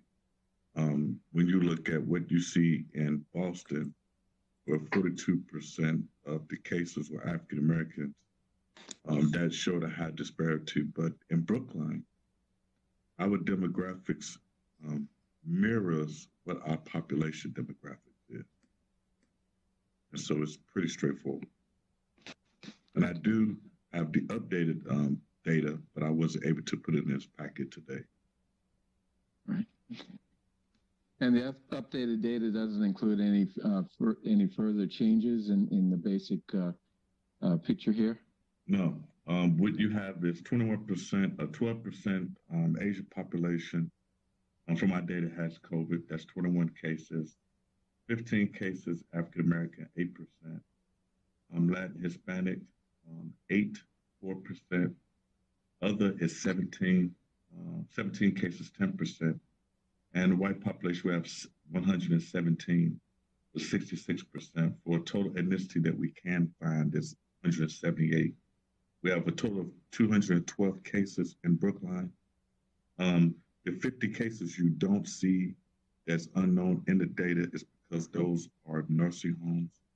And we usually get a line listing and they have to include that demographic data. We can't go in and interview them or call them because either they, you know, they have COVID uh, and, you know, there might be a dire situation or they're in the hospital. Right. So that information will be updated later. Yeah, uh, Devin, can you hear me? Can anyone hear me? Yeah. Yes, Yep, we we can hear hear you, Bernard. Okay, because I'm having some computer issues here, and I'm uh, crossing my fingers that it doesn't um, crash. So, um, okay. Uh, any uh, further discussion of this? Yes. Uh, question for for Dr. Jett. Are we in a position now, as we um, as we update on our COVID nineteen website, uh, the the the new total number of cases? Uh, are we in a position to continuously update uh, the the chart that you gave us based on race? And are there any other um, demographic factors like age or maybe other factors I'm not thinking of that might be helpful to include as part of that too? Yeah, so um, you know, as I explained, I, and I know you probably new to this, so it's you don't know about, but you know, I've been requesting an epidemiologist for some time now, besides myself. So you know, I'm tracking down issues at Wingate, Care One, Star Market, um, and the numerous amount of emails I have. So to, to do the actual data analysis takes quite a bit of time. Uh, but that's my hope. Um, I was going to hire another epidemiologist on the outside, but I have to de-identify the data from Maven uh, because you know it's, it's HIPAA violation. So I have to take out the addresses, things that I can identify people. But that's one of the key things I look to move to do. Hopefully, when I get some time in the next week, to add age, but also show graphic information in terms of what has happened from the beginning. And so you can begin to see how we peak, um, which we don't have a curve. So I don't want people to think we flatten the curve because right now we're running almost in a straight line with just a slow movement up a hill. Um, so over time, hopefully, you know, I've gotten better in trying to spare time and do this. But it does take the our data set is, you know, you can imagine how big it is, even though it only shows 212 cases, but it has you know, address information, age, birth, etc. So the spreadsheet is, you know, not that simple in order to deal with. Right. Yeah, and I'm and I'm thinking if we even if we can get, I mean, um, and maybe I, I don't know, because I'm I'm I'm new to this, but uh, I'm thinking we'd be able to get someone of any rank, frankly, that would be able to just say we've got when we because we're reporting, let's say, 20 new cases, we add that to the total number. Presumably, we either have or don't have their race and their age. Um, and then it would just take somebody updating the chart that already exists with race, and if we added an age column, updating stats in those charts. Is yeah, it I already have the chart updated. I already have the chart updated for race. It just didn't make it in. All right. In the district didn't make it in today.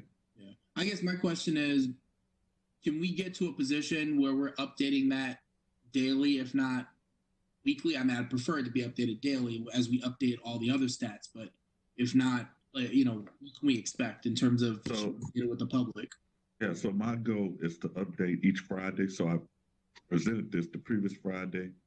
So now it's Monday or Tuesday. So this is the update. Um, but our end is so small, you won't see the significant differences that you're looking for. Um, because our cases is not that high. Um, so in order for our end to really change, in order for you to see some demographic information, you'll probably need to add almost 100 new cases. And I don't think we would reach that before this is over. I- Dr. and I hope Jett. not. I hope that's the And- case. Yeah. Select board members, uh, while this item was not a public hearing, you do have a couple of questions, so I'll just defer to you about when and if you want to take them. To me, Uh, yes, the first question is from John VanScoyoc asking about the uh, total number of cases for Care One on Park Street. And the second question that we have in the queue is from Deborah Brown um, asking, do we have age and location data? Why the high unknown data? It would change your conclusions. so age and location data, well, I wouldn't give up the location because that would be a HIPAA violation.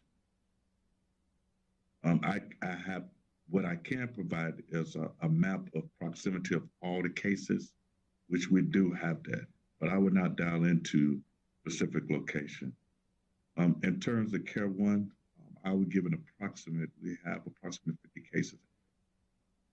That includes um, people living there as well as staff. By the way, uh, I apologize. My uh, computer crashed for a second, uh, but I was able to get back. Um, I have uh, bandwidth problems here, and which I think everyone in Brookline um, with uh, Comcast probably has. But um, And, and so, I'm back. yeah, and so Devin, to finish that question, you know, given up the location in Brookline, it is such dense uh, population size.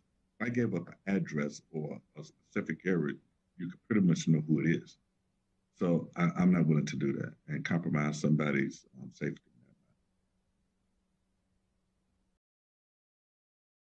What was the number?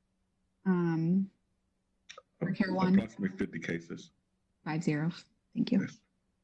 And 50 cases uh, referring to what? Uh, 50 What- what- cases are referring to Care One. Care One. Okay. Is I was one, offline for a few minutes. Right. Dr. Jett, is that one location or multiple locations? No, that's one location.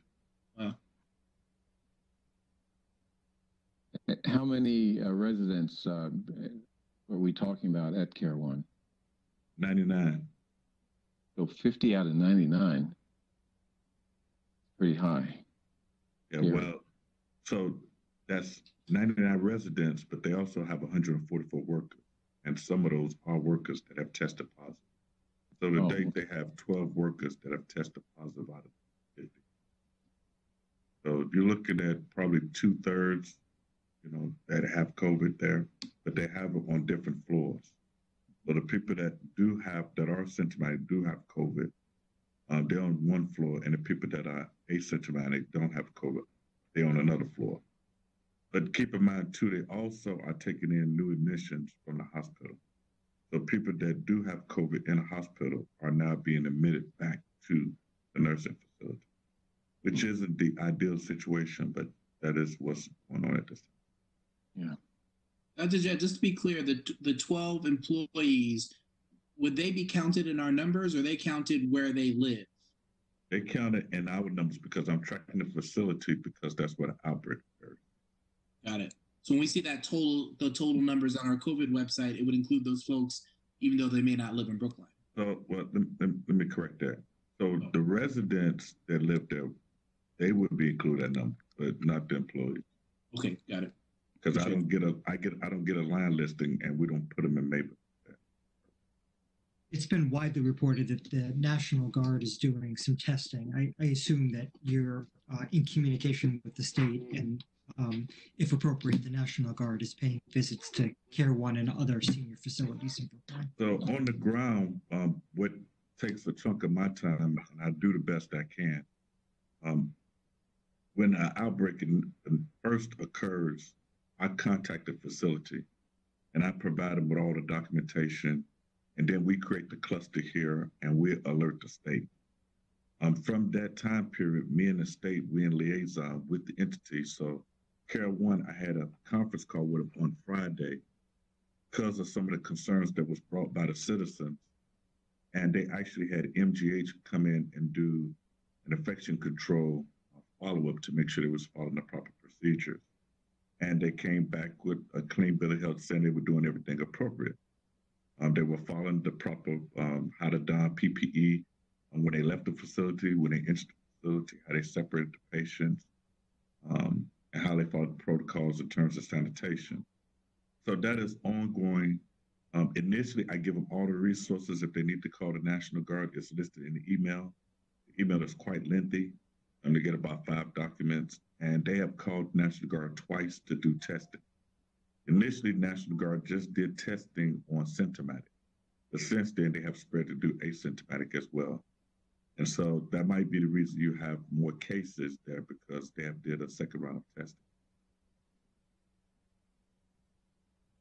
Dr. Jett, earlier today, the governor, um, during his press conference, um, mentioned uh, that um, there were test kits going out to nursing homes, and I think they had sent out 14,000 test kits, but only 4,000 of them were returned, and that they were reevaluating um, the whole testing process related to nursing homes.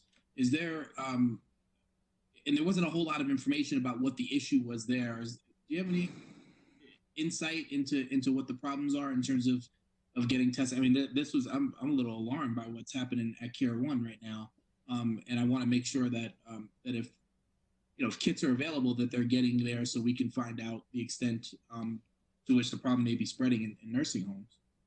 Well, Care One has probably done the best testing than anybody else. And so, you know, I'm fairly comfortable with what they have done today. Um, that's not to say other people haven't done due diligence, but, you know, I have been with Care One since day one. Um, Goddard is another place that has done quite well. But the mere fact that MGH came in and assisted them um, bodes well, and they, and they said they had no issues with their operations. Now, in terms of the test kits, initially, um, Care One did ask for some more swabs. They were provided with that initially. But you can imagine in some of these nursing homes, they just don't have the staff to do the testing. Care One, Wingate, Goddard, they are not in that queue uh, with that type of issue. But other communities don't have the staffing model. So one of the things I've tried to work with each one of the nursing facilities or assisted living is to say, make sure you separate the staff that is sick, the staff that has worked with the individuals that have been sick, and may, they have to stay there. the staff that have worked with the individuals that are healthy, they have to stay there.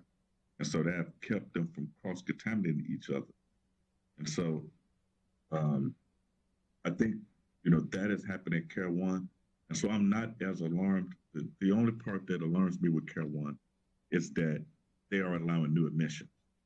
But remember, the health department and no jurisdiction has oversight over nursing homes, only the state. So what we're providing is an additional service outside the realm that what we normally would do. We normally would just, if it's just one case, they have notified us, we will follow that. But to the extent of what I'm doing and what Barbara is doing and inputting the data, that normally doesn't happen. But I will assure you in the future, I think that's a model, even though, you know, we might be facing a budget deficit. But I think in the future, the health department needs to have some capacity on ground in order to monitor these facilities in the future. Because this is a gap that, perfectly honest, it does scare me, makes me leery, but I think we need to have a better grasp on it. It, it shouldn't be your director of health monitoring these facilities. We need to staff infrastructure from environmental to EPI to somebody doing the inspection with them, whether it be a nurse, et cetera, to give them all the protocols and make sure there's not one death, but also to make sure we have some type of step down facility available. So once you identify that there's an outbreak in a facility, you have the ability to move people immediately. And that's one of the problems that we have with nursing homes. We have no place to move people. So now, the longer they sit in this, they in the incubation, they're in a facility, it's just a matter of time that everybody's going to test positive. So that's that's just my thought. Thank you. Okay, any other questions? Well, thank you, Dr. Jett. Uh, even though I missed a couple of minutes of uh, your uh, response, um, you know, you've given us a lot of things to think about, both in terms of, um, you know, staffing of your department as well as, you know, the, the frightening nature of what we're facing, particularly as it relates to the elderly. Thank you. Thank you, sir. Okay. Um, so there's something in our packet uh, regarding um, contact tracing through a digital um, platform. Um, someone explain that to me. What what what this is about? So I'm going to. This is a collaboration that I have that I want to present something to Brookline. And so I'm going to let Dr. Nate Willis talk about it because he's been at the forefront, um, not only in Massachusetts but in the nation and a lot of articles has been written about this in the New York Times, but we remain anonymous as, as, as much as possible, uh, anonymous. So, um, Dr. Nate, if Devin, you can turn over the mic to him so he can do the presentation. What's his last name? Willis. Willis, okay. Yeah, thank you. It's, it's Dr. Nate, Nate, Nate Horwitz Willis.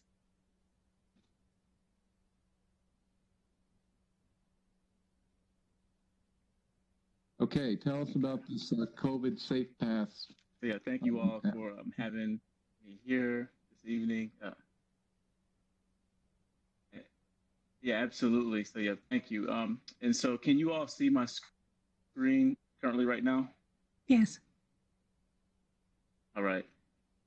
So essentially, as Dr. Okay, great. Essentially, as Dr. Jett saying, um, there's been a lot of work done in Massachusetts in regards to contact tracing and getting ahead of COVID 19. And what we're doing now is we're trying to advance beyond it here in Massachusetts. And we're using an equitable and inclusive and also a very effective public health contact tracing approach. Um, and I do want to just say that being here is actually um, very significant because my colleague and I, um, Dr. Susan Garfield, we thought about who should we come and approach this with um, and bring it to in terms of our local communities to make local public health that much more effective. And we thought about Brookline, and the reasons that you see here is because you all are very thoughtful and you all are very forward thinking. Um, you have a very dynamic commissioner of uh, Brookline Health and Human Services, and also the the um, residents. They tend to want to advocate for equity and inclusion. And when you're talking about dealing with COVID, um, you have different groups of people, um, you know, that have different ideas, and you want to try to public health system that incorporates all of that. And you want to have a good and effective system that takes that into consideration. And really, you know, when I'm talking about contact tracing and talking about this technology, it's very sophisticated. Um, and we live in we're living in the 21st century, and a lot of people wondering why are we staying at home? Why is this taking so long? And using this technology, really, um, the purpose of it is to enable us to open back up our local economies um, and to use it in such a way that it's going to benefit the community and it's going to make public health department that much more effective to capitalize on those benefits for the public and for businesses. Um, I mean, being here and listening to you all talk, you know, about the community and the challenges that you're facing, this technology is aiming to resolve that. So when we talk about contact tracing, you have the traditional method, and then we have the contact tracing of now. And the traditional method of contact tracing, it really is struggling to take into consideration how to keep pace with an infectious disease such as the coronavirus or also called SARS-CoV-2 that leads to COVID as a diagnosis. So when we first learned about coronavirus, we had this thing called the R naught in infectious disease when we talk about epidemiology. When you talk about the R naught being at around two or three, you're referring to the, the spread of it being fast. And one is usually like the reference value. So the flu, if you can think of it, usually has an R between one and a half to two. Um, the literature when it first came out said coronavirus had an R naught close to three. Now it's close to five. Um, we don't know what the R naught could be in the future as this virus starts to slowly mutate. And the reason why I talk about the R naught and contact tracing is because when people are doing this in the traditional method, making phone calls, doing all this manual data entry, and trying to keep up with all, all this data, as Dr. Jetta said, he's, he's, saying he needs all, this, all these epidemiologists, all the staff, and um, I'm not debating that. But in times like this, this is an opportune time to leverage technology to get ahead so that way you don't face issues such as generating health inequities or you're not facing issues with not understanding how your information systems are interacting with each other. Because as it stands currently right now, some of our systems in the public health world have a tough time trying to talk to one another. And when people are trying to enter information, we are prone to error because we are human.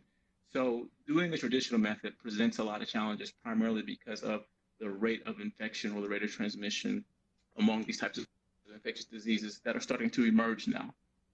So when we talk about the contact tracing of now, we're really trying to talk about how do we match up with public health policy with the most effective solutions coupled with technology, right? So as I've explained earlier, the R naught, this technology takes in consideration of the R naught. Um, so when we talk about using this technology, we are talking about using cell phone based technology.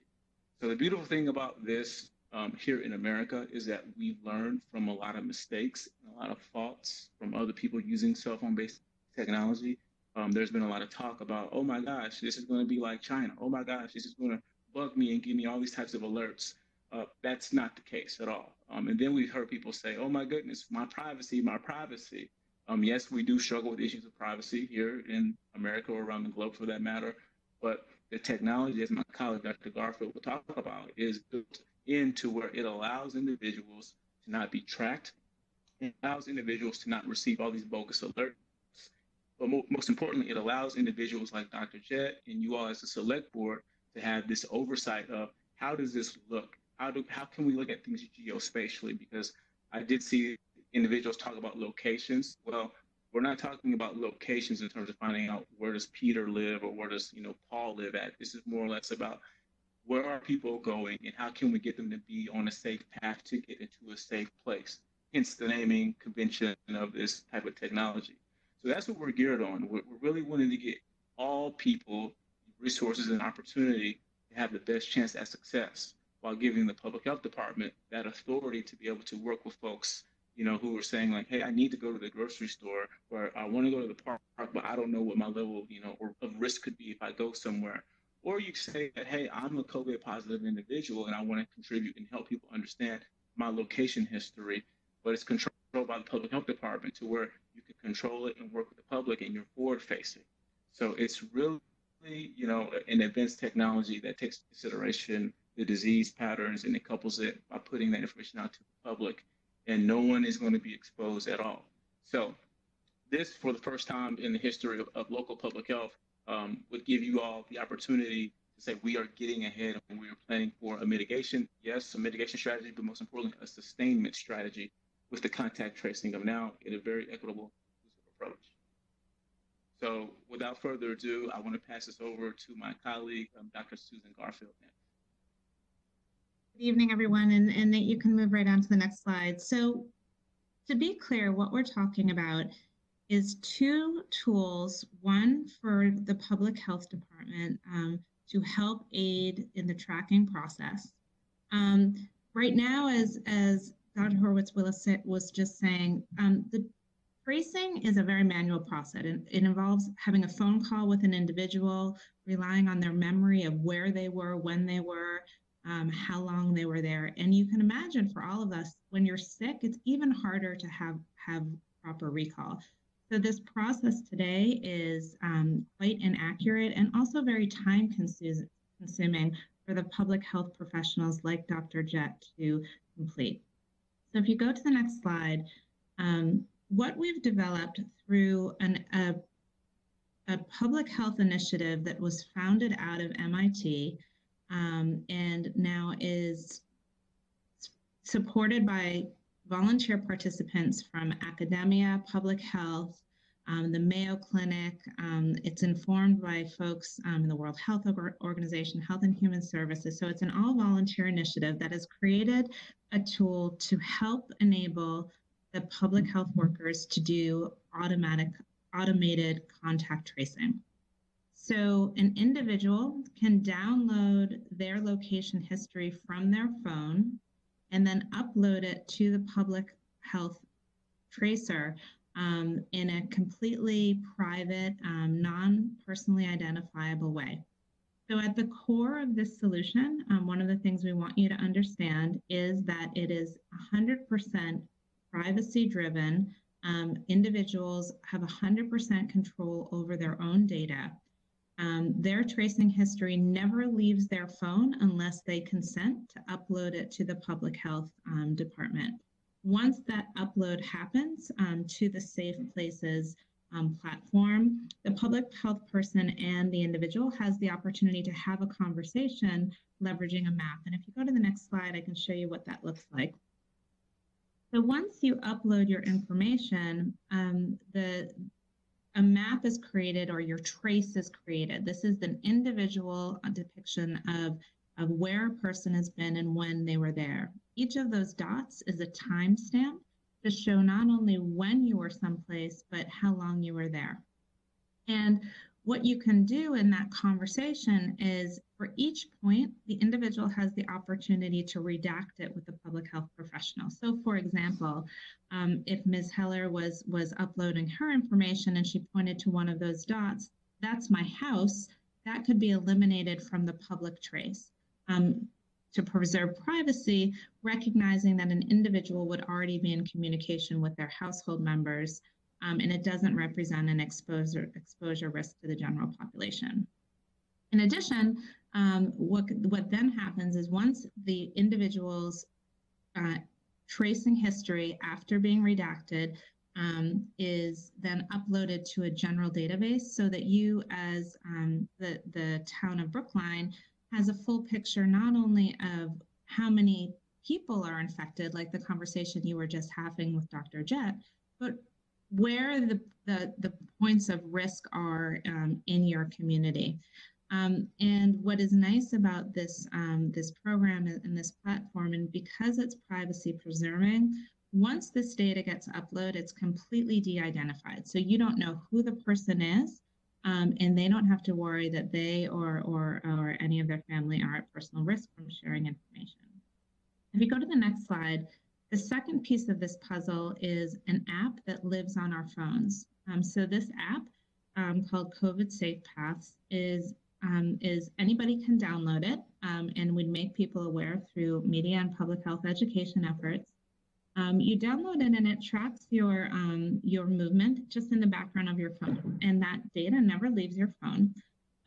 but it does interface with that collective data um, coming out of the public health department. So again, as Dr. Jett was talking about um, the number of cases in Brookline, Um, each one has to be contacted, and and and their contacts, their traces, um, need to be identified. What our platform does is it automates that, so that data of where infected people have been can then get pushed out to people who have this app, and say, cross-referencing the infected people's traces with an uninfected person's traces. Those two things come together and the population at large can be alerted if they're at risk. It doesn't say that you are at risk because um, you uh, you intersected with Devin at three o'clock in the afternoon and she's sick. No, in fact, it just says you um, had an exposure today with a person who was um, who was diagnosed with COVID. Your exposure was 15 minutes long, two and a half hours long, depending on the overlap of those traces. And then it provides specific resources for that person um, in the case of Brookline, you can have Brookline specific information. Um, contact uh, Dr. Jett at the Public Health Department. Um, here are some local um, clinics to, to get testing here in Brookline, et cetera. So you can contextualize the resources for, for the people of, of your um, city, or you can just refer to general health resources. So if you go to the next slide, um, so what we're proposing today is a pilot of this technology in Brookline um, leveraging the, the concept of privacy and data protection as at its core. Um, we'll provide these slides so you don't have to read every word, but um, going to the next slide, basically the value proposition um, is, is quite quite tremendous. Um, th- this collaboration that's built these tools are the, the greatest technical minds in our country coming from MIT, um, technology collaborators, um, We've had clinical input from the Mayo Clinic, Mass General Hospital, the World Health Organization, Health and Human Services, et cetera. And if you go to the next slide, together, um, they, um, uh, oh, I'm sorry, um, uh, yes. So um, we, we have a solution that we think provides tremendous value to both the public health community, making the tracing um, process both quicker um, because you have the map as a reference point, um, more effective because you have that data as opposed to recall, um, relying on an individual's recall, and impactful because that data can then be used by the public health department and the government to really understand in greater detail the exposure risk of an individual. So you can imagine um, if you found from a um, from a Safe Places enabled uh, tracing um, that if a person was in Stop and Shop or the Trader Joe's in Coolidge Corner or at the T Stop, that exposure history has a significantly greater impact to the population of Brookline than if the person in the two weeks prior to being diagnosed was sheltering in place at home. So this tool is very helpful for you to understand um, current um, current disease, the impact of that spread, and predict future um, outbreaks as a result. And the app itself gives individuals in Brookline a tremendous amount of knowledge and reassurance about when they've been exposed and when they when they haven't, um, leading to help and help both opening society back up when the time is right, and also helping you and helping individuals manage um, both their exposure and their risk moving forward. Let me pause there and see if there are any questions. I guess my question is, what are we being asked to do with respect to this um, this uh, system? Yeah, so um, the I, I, should have mentioned that um, the, the platform, both the Safe Places tool for the public health and the Safe Path app, have been developed as a humanitarian effort by this consortium. So they are being offered free of charge to muni- municipalities around the country and around the world. So we are um, deploying pilots um, in cities and states and countries um, free of charge, supporting both the implementation, um, training of tracers, um, as well as public health education and promotion either through the me- media or other means. Um, so, what we're asking for is approval of a pilot in Brookline um, to, to support the evaluation of this technology enabled track and trace um, system um, here in Brookline to look at it um, in, in comparison to a manually based program. Uh, Dr. Nate, do, do you have any additional detail in terms of the ask? Um, yes, so uh, yeah, Dr. Garfield laid that out very clearly. Um, so in terms of the pilot, the specific ask for the pilot is to pilot this very carefully cautiously with Dr. Jett um, and having that oversight of it, and that we do a very slow rollout. Um, so that's the specifics on that pilot. We wouldn't release that out to the public as a pilot. We would do it in house with him, um, and we would select a few individuals. And if anyone from the select board would like to participate on the pilot, we would extend it out to you guys too. I, guess my concern is that uh, this wasn't on the agenda as um, something for us to vote on, and in any event, uh, something like this uh, would have to go through a huge amount of hoops in Brookline because of uh, people's concern with respect to privacy. I know you you've um, uh, indicated that you think you have a, a platform that um, by architecture is is going to uh, protect privacy. Um, but uh, you know that that's something that will be um, analyzed by a number of of uh, persons and, and committees in this town, including the surveillance committee. Um, so, but who, Well, who I- I are would you think- to? I'm, I'm sorry, I'm just asking a question. Of, I gather that the the pilot involves having a certain number of people download the app to their phones. Is that correct? So, um, Ms. Heller, the, the pilot, so all participation is completely voluntary. The app will be available to the general public in the App Store. There's nothing specific to the residents of Brookline that make them compelled in any way to download the app, um, different than the general population. The pilot is really focused on supporting Dr. Jett and the public health community with the Safe Places tool, which basically allows them to download a person's location history with consent and, and prior approval by that person to enable a, a, a, tracing activity um, that uses the tool. Um, that person would be having a tracing conversation with the public health department anyway. So there's nothing, there's no privacy, there's no um, extraordinary um, impact to the individuals of Brookline other than when they get infected and they have a conversation with the public health um, department about their their tracing history, they have the choice whether or not they want to download um, their their location history and then provide it to the public health department to create a much faster, more efficient conversation. So so there's there's no kind of mass deployment um, or requirement. Um, the people in Brookline would have the option, as everybody in the country will have the option to download the app and then benefit from that um, uh, tracing data that will be collected through the Safe Places tool from the Public Health Department. Again, that notification of whether or not you've been exposed, but that notification lives on an individual's phone. There's no data sharing to the government, the public health department, or anybody else. So again, that's an individual choice um, to download that app, and the content of your your um, history of locate your location history is entirely on your phone and not shared with anyone unless you choose to do so at the point of um, infection and reporting.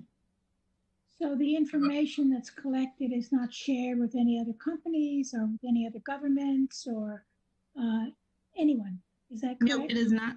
It is not shared, and also at the point when the the trace, um, when the location history leaves the individual's phone and goes up to um, the public health department, it is de-identified and contains no personally identifiable information.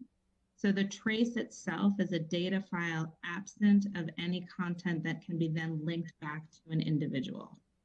Um, so it's merely the, the trace itself that then has the opportunity to get further redacted by the individual and the tracing professional um, if that, the locations themselves hold any um, privacy concerns. I'd like to jump in real quick. Um, and correct me if I'm wrong. It seems like this would be most effective after stay at home is is lifted and business uh, closures are ended, or at least in part when people start, at least the location part, where people start moving around a lot more. Right now, it wouldn't be all too surprising if um, if one of the very few locations that are open for people to go to, someone um, you know who um, who had contracted COVID was was in that location. Let's say Stop and Shop. That wouldn't be too surprising. it's only Stop and Shop, Trader Joe's, and a few other places where you can actually go anywhere. Um, that that said, the um, the ability to to know that you were in proximity or close proximity to someone for X amount of time, uh, 20 minutes, an hour again, more than likely after stay home is lifted and businesses um, start to open back up. Um, I guess my question though is what in order to make this uh, valuable for for the community um, what kind of penetration do you need meaning what percentage of the population would you target to to be using this um, app to to make it um, a valid tool for us Yep. Um, thank you for your question, Mr. Fernandez.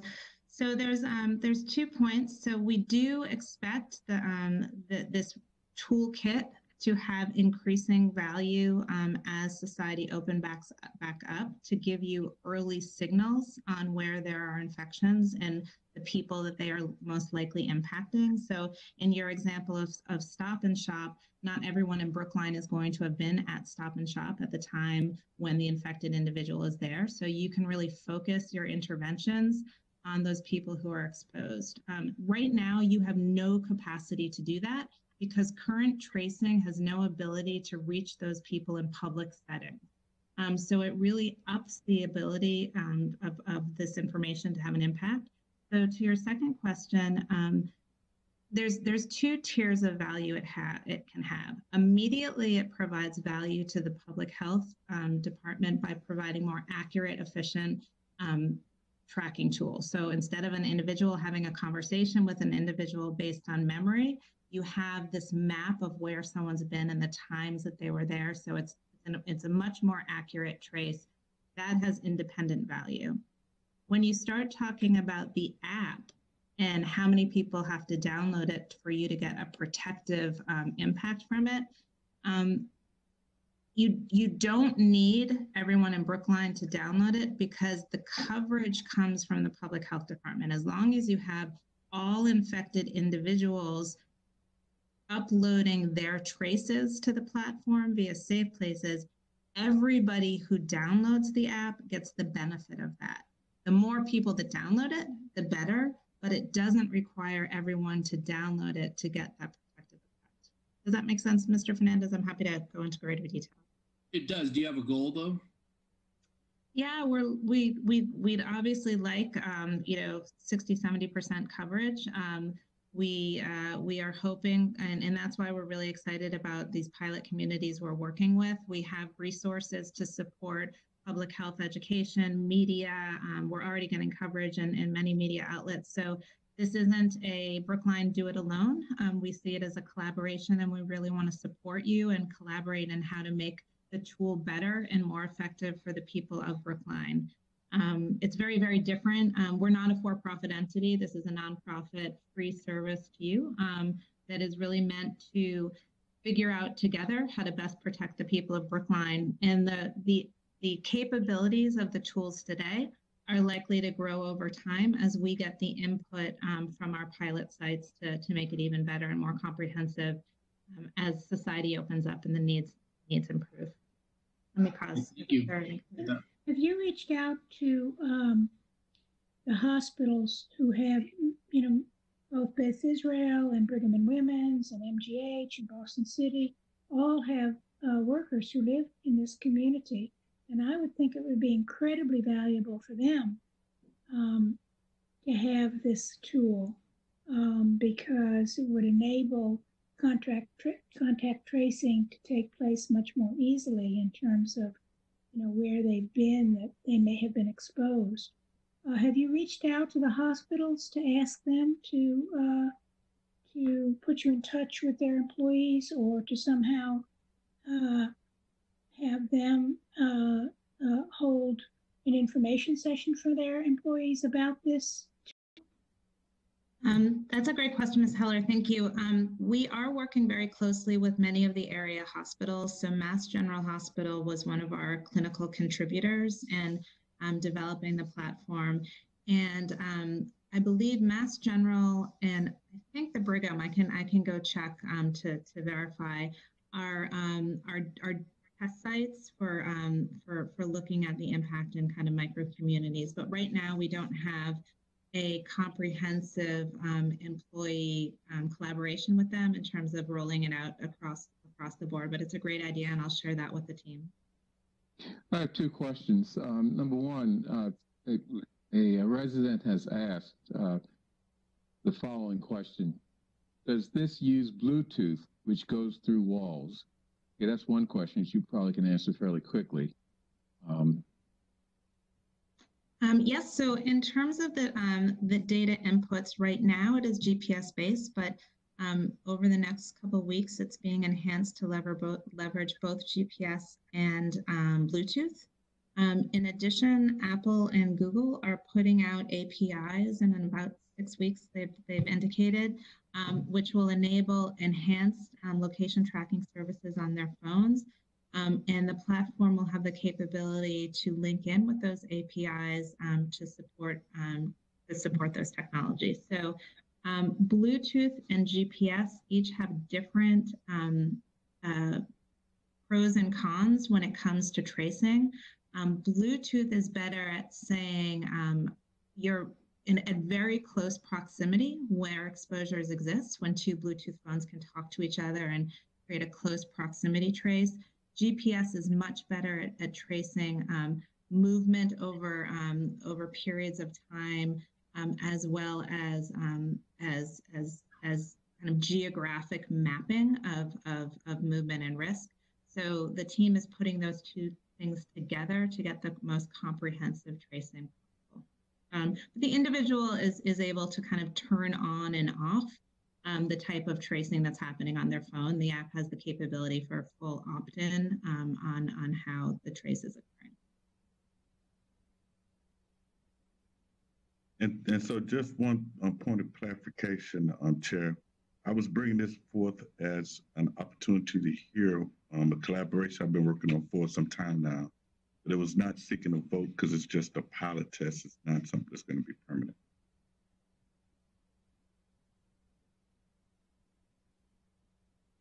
It sounds it sounds very worthwhile, and given that contact tracing as we do it now is so laborious and uh, takes so much time to end up with the results, that uh, sometimes the results are already too late. So to help you know to help people who may have been exposed or whatever. So I mean, I'd like to know how you download it, and I'd like to get it, even though I don't I'm I'm basically sheltering in place, so I don't know that I'm a very good uh, candidate for this. But there are occasions when I do have to leave the house for essential services, so um, I'm trying to minimize them. But uh, I think it would be uh, a good thing to do. So uh, you should probably let us and let the public know how um, those who are interested could uh, download the app and become a part of this pilot. Right. Hey, um, my second question, and, I got cut off, not by the seller, but um, so we say that this is uh, totally voluntary, but you also said at uh, one point that um, people who have tested positive um, will have uh, their information uploaded to the uh, to the app. So, so it, it sounds like if you test positive, you're going to be included in the uh, database for this uh, for this app. Is that correct? Um, that's only correct if that individual opts in to having their trace uploaded um, onto Safe Places. So basically, the the the individual would have the choice to um, to, to say, um, yes, actually, I'll, I'll download the app, get my trace for the last two weeks, and then upload it to, um, to Dr. Jett and his team for, um, for review. Or an individual has an absolute opportunity and right to say, no, let's just have a conversation. So this isn't a requirement. This isn't mandatory. It's 100% voluntary. And again, if the individual, once diagnosed, decides opt in and upload their data, when the data is uploaded, it's de-identified and contains no personally identifiable information once it re- reaches the public health department. Okay, thank you. Mm-hmm. Any other questions? So my question is, um, is it just for people who tested positive to fill out? Um, at this point, it is supporting um, only tested positive people who are being um, interviewed by the public health department and sharing their traces as a result of a positive diagnosis. Um, moving forward, there are other um, jurisdictions around the country that we're working with that are looking at self-reported um, and symptom-based diagnosis as a way to um, share potential um, infections and tracing, but that's in, in development as opposed to in this current version. Okay. Any other questions, So, comments? So- So what you're basically saying is that since, as far as I'm aware, none of us here has been diagnosed, none of us would be signing up on the app to be tested uh, or contact traced because we don't, we don't have the, the disease. Is that correct? So everyone on the call, assuming no one has COVID right now, could download the app and then receive um, daily uh, information about whether or not you've had exposure to someone who has been diagnosed. So So you're currently in the in the well population. If you got diagnosed, you could then leverage your tracing history to upload to the public health department um, when having that conversation. So it, So, it- so it's really valuable because it lets you know that you've been in an area where uh, someone has been diagnosed. correct, and that- absolutely. That you need to be careful. That's correct. And then um, y- you have to assume that all of us are in kind of fluid health statuses. So today, while we're in the healthy group, at any point we could flip and be in the infected group. So that, so All right. Okay, any other questions? Observations, comments? No. Thank you, uh, Dr. Horowitz uh, Willis and uh, Dr. Uh, Gabriel. Um, is it Dr. Garfield? Right. yes, thank you. Thank Okay, you. Thank you. Um, what is going to be the process for approving this, Bernard? Um, are we going to just, uh, I mean, it seems to me that this is something we should do and that Dr. Jett should be able to, uh, you know, help with the rollout of this in Brookline. It's a pilot, it's voluntary. Um, it's not as if anybody, we're asking anybody that they have to do it. But I think it's, it's, a, it sounds very valuable and, um, taking a leap forward in a whole area of contact tracing seems very Yeah. important. Well, uh, do, what is it we have to approve? Well, I think I'm just looking for a nod of support. Um, it's nothing that you have to vote on because I know it wasn't on the agenda as a voting item. Um, but Well, I don't think there's any objection to uh, uh, going forward. Um, you know, and, and once we get to the point of you know the town uh, being uh, implicated in um, you know the app or or its rollout, then then- then you'd come back to us. But um, I don't hear any objection to uh, you participating in the pilot. I appreciate it. And of course, we will subject it to scrutiny in terms of the uh, claims of uh, claims that they make that uh, people's privacy are protected and other claims they make, um, which, of course, uh, my my job and our job is to uh, be skeptical of all those claims. Uh, but that's just the way we are. But If- I may, appreciate it. if I may, Yes, Mr. Mr. Greene, um, just to give you some more su- some more support, we will evaluate the process. Um, so from the university side to determine the overall benefit to the community. So there will be some scholarly research produced so that way we can bring that back to you if you guys do have any further questions to show you how valuable this has been to Brookline. Okay. So, uh, uh, Dr. Uh, Horowitz Willis, are you with the university? Yes, sir, I am. Uh, and and the Dr. Gabriel, I'm sorry, where I get? Where am I getting Gabriel from? Uh, Dr. Garfield, are, are you with the university also? I'm not. I currently uh, work with EY Ernst and Young, and I'm part of the volunteer group supporting Safe Path. Um, but I am a proud alumni of the Boston University School of Public Health that you mentioned earlier. Okay. um, and uh, Dr. Horowitz Willis, uh, what university are we talking about? Is that the local MIT? Um, Um, no, it's the Massachusetts. It's the Massachusetts College of Pharmacy and Health Sciences. You can shorten that to MCPHS University. yep, I know it well.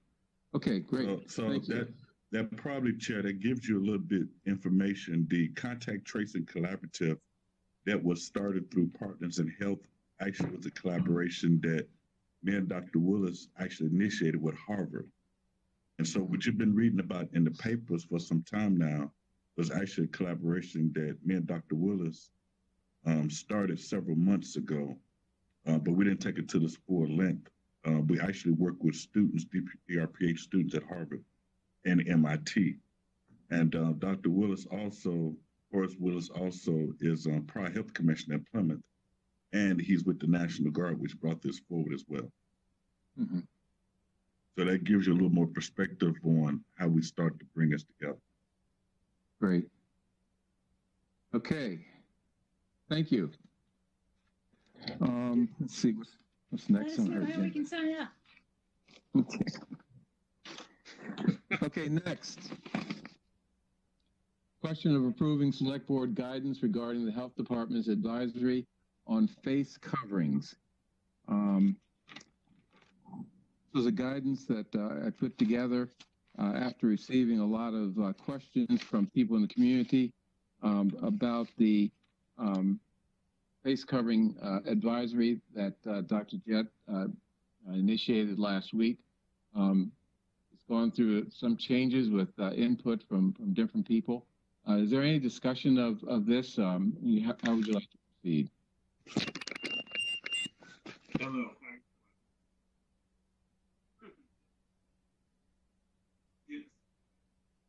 Who, who are you asking, uh, Bernard? The select board, that includes you. Yeah. Okay. Uh, I think um, I think the gui- guidance is updated uh, is is very good and very smart. I think I think one of the the key considerations for us is how do we get this guidance out there. Uh, That's been one of the things that um, that I think we as a town have struggled with is um, how do we communicate um, sometimes more complicated information. There's a number of different bullet points on this guidance. Uh, it's it's it's the kind of thing I suppose we could put into a robocall, and um, but it would be a very long robocall uh, to send this out. Uh, you know, folks have asked us, you know, if it's the kind of stuff that we should be um, posting at, um, especially businesses that are currently open, uh, where people would be able to see this in on those windows, or you know, what can we do to um, to get what I think is very good guidance out there. Um, and I have one suggestion, which is, um, am I, am I live here or not? Yes. Um, I have one suggestion, uh, which is that, um, we, uh, ask the, the various neighborhood associations, perhaps through the Brookline Neighborhood Alliance, um, if they could assist us in, um, in posting this on their, uh, listservs. Um, because they seem to reach a lot of people. People are in in neighborhood. There's also this app called Nextdoor, which I've just learned about, and my neighborhood is is involved in um, in uh, getting postings from it. And so, and I think there are many other neighborhoods in Brookline. I don't know how it would work in terms of whether or not the town could post something on uh, on Nextdoor, but I think uh, that's that's the kind of thing I think we have to resort to because as I'm learning, a lot of people don't.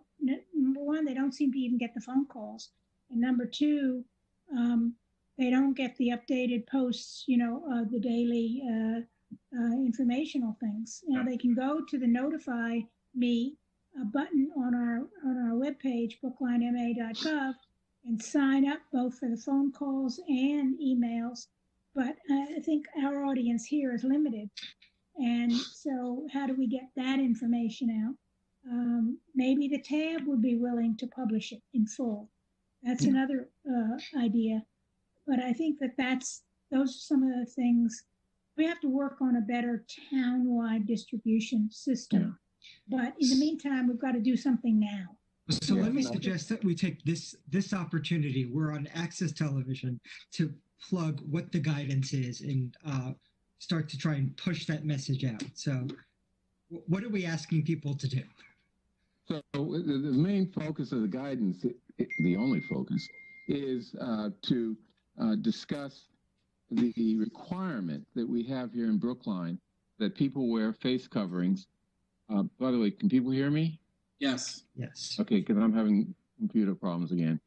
Uh, the requirement that people wear face coverings, and, and what this guidance tries to do is to answer many of the questions that we get, you know, by email, by phone, you know, people just running us, running into us.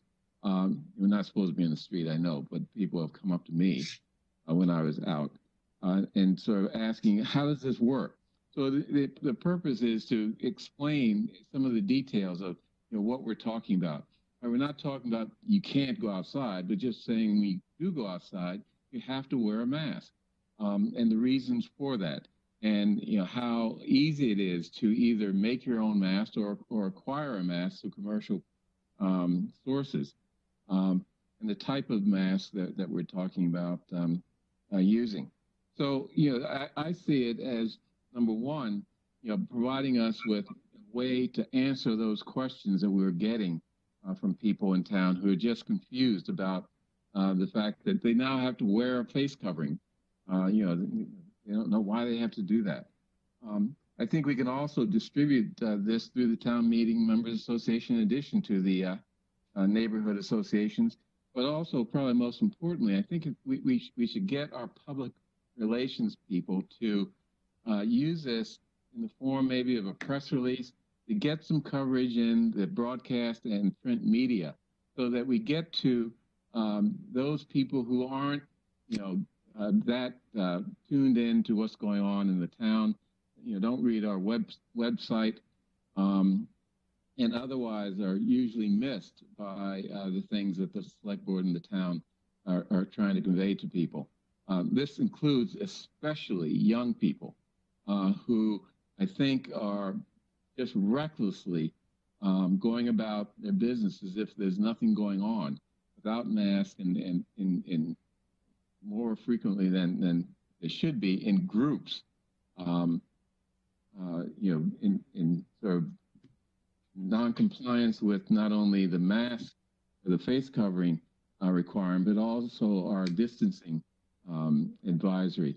So you know, we, we can use the broadcast and print media as a way of uh, expanding the coverage of, uh, of, of, you know, this uh, requirement. Um, and, uh, you know, there may be other ways we can just get this around, but I think that, the, you know, those are ways that will really, um, you know, be beneficial in terms of just getting people to accept the fact that this is a very serious problem and it requires a serious and inconvenient uh, response on their part, but it's not unreasonably inconvenient. Um, and, and, you know, we, we really need to uh, you know, get people to take, take seriously the, the situation we're in. I think this is smart too, is that it, it, in that it changes the default from not wearing a mask to wearing a mask. And of course, if you are alone or with your family in the middle of, of, of Larz Anderson Park, sitting down having a picnic, and no one is anywhere near you, no one's no one's going to come over and ask you whether or not you're wearing um, or, or give you any any heartache about that. Um, but for those of us that are walking around on the streets, um, we we tried uh, to provide a little bit extra distance in certain areas, but um, it's really important that um, you know you may be walking on a block where where there does seem to be plenty of room, and you make a left turn, and then all of a sudden there's some folks there. So um, you know yeah. it's really important for folks to have this mask with them. The other the other piece that we should be clear about um, is um, is enforcement. Uh, I know that there is a provision by which um, the health department can can fine folks for not wearing masks, but that's not something that we've discussed or, or has really been contemplated at this point. point and correct me anyone if I'm wrong, but um, but our sense is that um, that we're just hoping that people just do the right thing and comply, and that this becomes part of our culture for the time being until um, Dr. Jett lets us know that it's that it's um, that it's time to start pulling back on this. Uh, and and there's no intention right now to use our, our police or anyone else to to stop people and and to enforce this. Um, and our hope is that um, that we can encourage people. We know that some people don't have masks. Um, you know they are available online but uh, to buy online but also got masks brookline if you are in need of a mask there is that website got masks brookline you can just search that uh, and there are people that are willing to, to if you if you're in need and don't have the, the means to get your own there are people that are willing to make them for you and get them to you uh, so um, so please make use of that if that's something you need And and there are a lot of web. Uh, uh, I'm sorry, a lot of um, internet sites that uh, show you how you can make masks uh, very simply from from a bandana. Um, very effective mask from a bandana, or by cutting out a one of those old T-shirts you have around the house. Um, in, in a form that can be uh, turned into a, a, very effective mask, uh, and that becomes even more effective based uh, if you put a, a, paper, a paper um, uh, towel uh, in between uh, the layers of the mask. Um, apparently, that has been found to, to increase the effectiveness of even cotton masks significantly. So, I mean, there, there's no reason why people can't um, you know, find a way to, to, to obtain a mask and wear it. And uh, hopefully soon we'll have fashionable uh, ma- masks um, that uh, people will be proud to wear around to uh, show off their fashion taste. Um, well, I have another suggestion of how to get a mask or uh, how to turn something you might have in your house into a mask. Um, this was something that a friend of mine learned on Twitter uh, and it, it, involves these uh, eye coverings. You know, when you go on a plane or you go someplace and you want to sleep and you're sensitive hmm. to light, so you put this over your over your head like that. Okay, so you can turn hmm. this into a mask, and um, it works pretty well actually, and it's pretty comfortable. Uh, so I recommend them if you have them lying around. Uh, that's a good way. That's a good use to put it to. So. Yeah. So when you, as you're cleaning out your house and you run into an eye mask, don't throw that away, but save it. Right. To be repurposed. Um, the other thing I, I just want to raise is that I think, um, I think, especially maybe young people, but many people are confused about. Okay, well, if I'm in an age where I'm young and I'm healthy, I'm going to get the virus. It's going to be like the flu, and then I'm going to be fine. Unfortunately, yeah. I mean, the, the people who are more vulnerable, obviously, the people with the underlying conditions and, and the older people, but younger people also, I mean, the problem is you may not die, but um, there's more and more evidence, and there was news reports just today that um, you can suffer long-term organ damage from this uh, virus, yeah. from your in your liver, in your heart, in your lungs no one really knows whether you'll recover from that because this, virus is in its infancy. But who wants to take that chance? You don't want to go through your life having a, a compromised liver or heart or lungs. So it's really worth making the efforts not to get it yourself and not to give it to other people. Yeah, that's important. But, but the, uh, the the focus, I think, that we also have to um, um, have is that the purpose of the mask is not to protect you, to protect people who you come in contact with, because especially young people uh, could have the virus and have no symptoms and are going around contagious and infecting other people. Wearing a mask helps to prevent that. So you don't, you know, inadvertently uh, infect a friend of yours who lives with his 80 uh, year old grandmother who, if, if she gets the uh, virus, could die.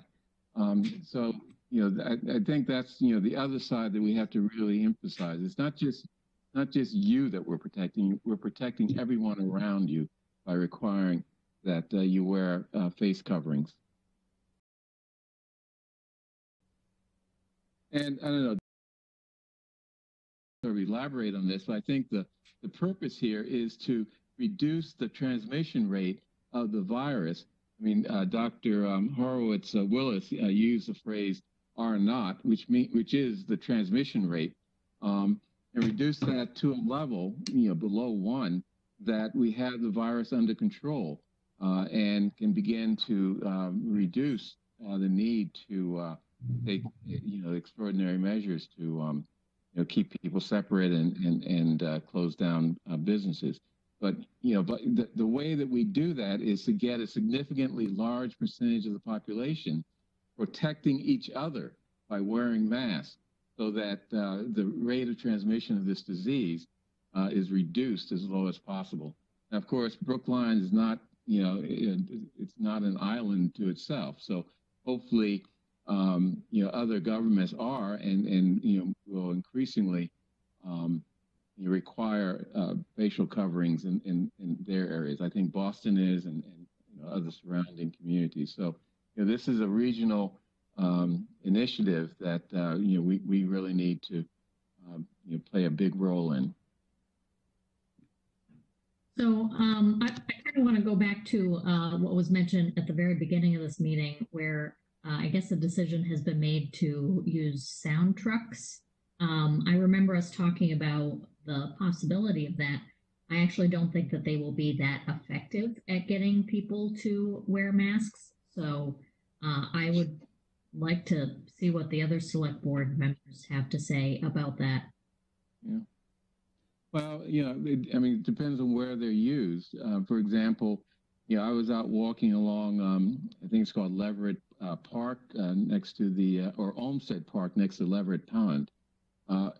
Uh, huge number of people running uh, without mask and, you know, whooshing by you and, you know, both sweat as well as, um, you know, stuff coming out of their mouth into the air, um, which, you know, is, is, a very risky thing.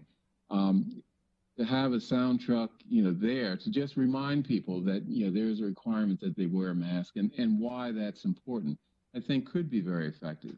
Now, maybe going down, you know, Harvard Street is not uh, the best use of that uh, uh, that that um, system, but you know, there are places where it could make a big, big difference by just reminding people that you know, this is a serious issue, this is a serious disease, and, and we really expect people to take it seriously by uh, their behavior, particularly uh, use of face coverings. So I, I think that uh, I, I guess I just disagree. The people who are not using face masks, there are a number of reasons why, and I think we should investigate what those reasons are. You bring up the youth that think that they're invincible. A sound truck is not going to change their mind. So I would like us to contemplate other actions. I mean, people respond differently when there are consequences. Um, so a sound truck is just a public information campaign. We've been doing that for weeks. They know the risks. They know the expectations, you know, that are that we've put out. I don't see how this is really going to affect a different outcome. I agree with you that there are probably other things we can do, but I don't think this hurts. In other words, I, I think that there, I've seen um, you know, families uh, walking along, parents with young children, and there's no masks. Um, and they're, you know, walking by other people and they're in Coolidge Corner and whatever.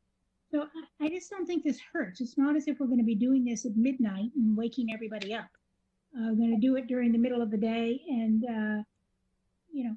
But I agree with you that there may be other, there may and there should be other things that we can do to impress upon people the reasons why it's really important. So the unintended consequence is that we're assuming that everybody is up during the day. And that's just not true, especially the people who have been working very long, very um, sporadic hours, which are our frontline workers. And we think that noontime is an appropriate time to, you know, sound something that you know, can reach a distance. And yet that person has not slept in 36 hours. I think that's really unfair for the expectation of the change in behavior.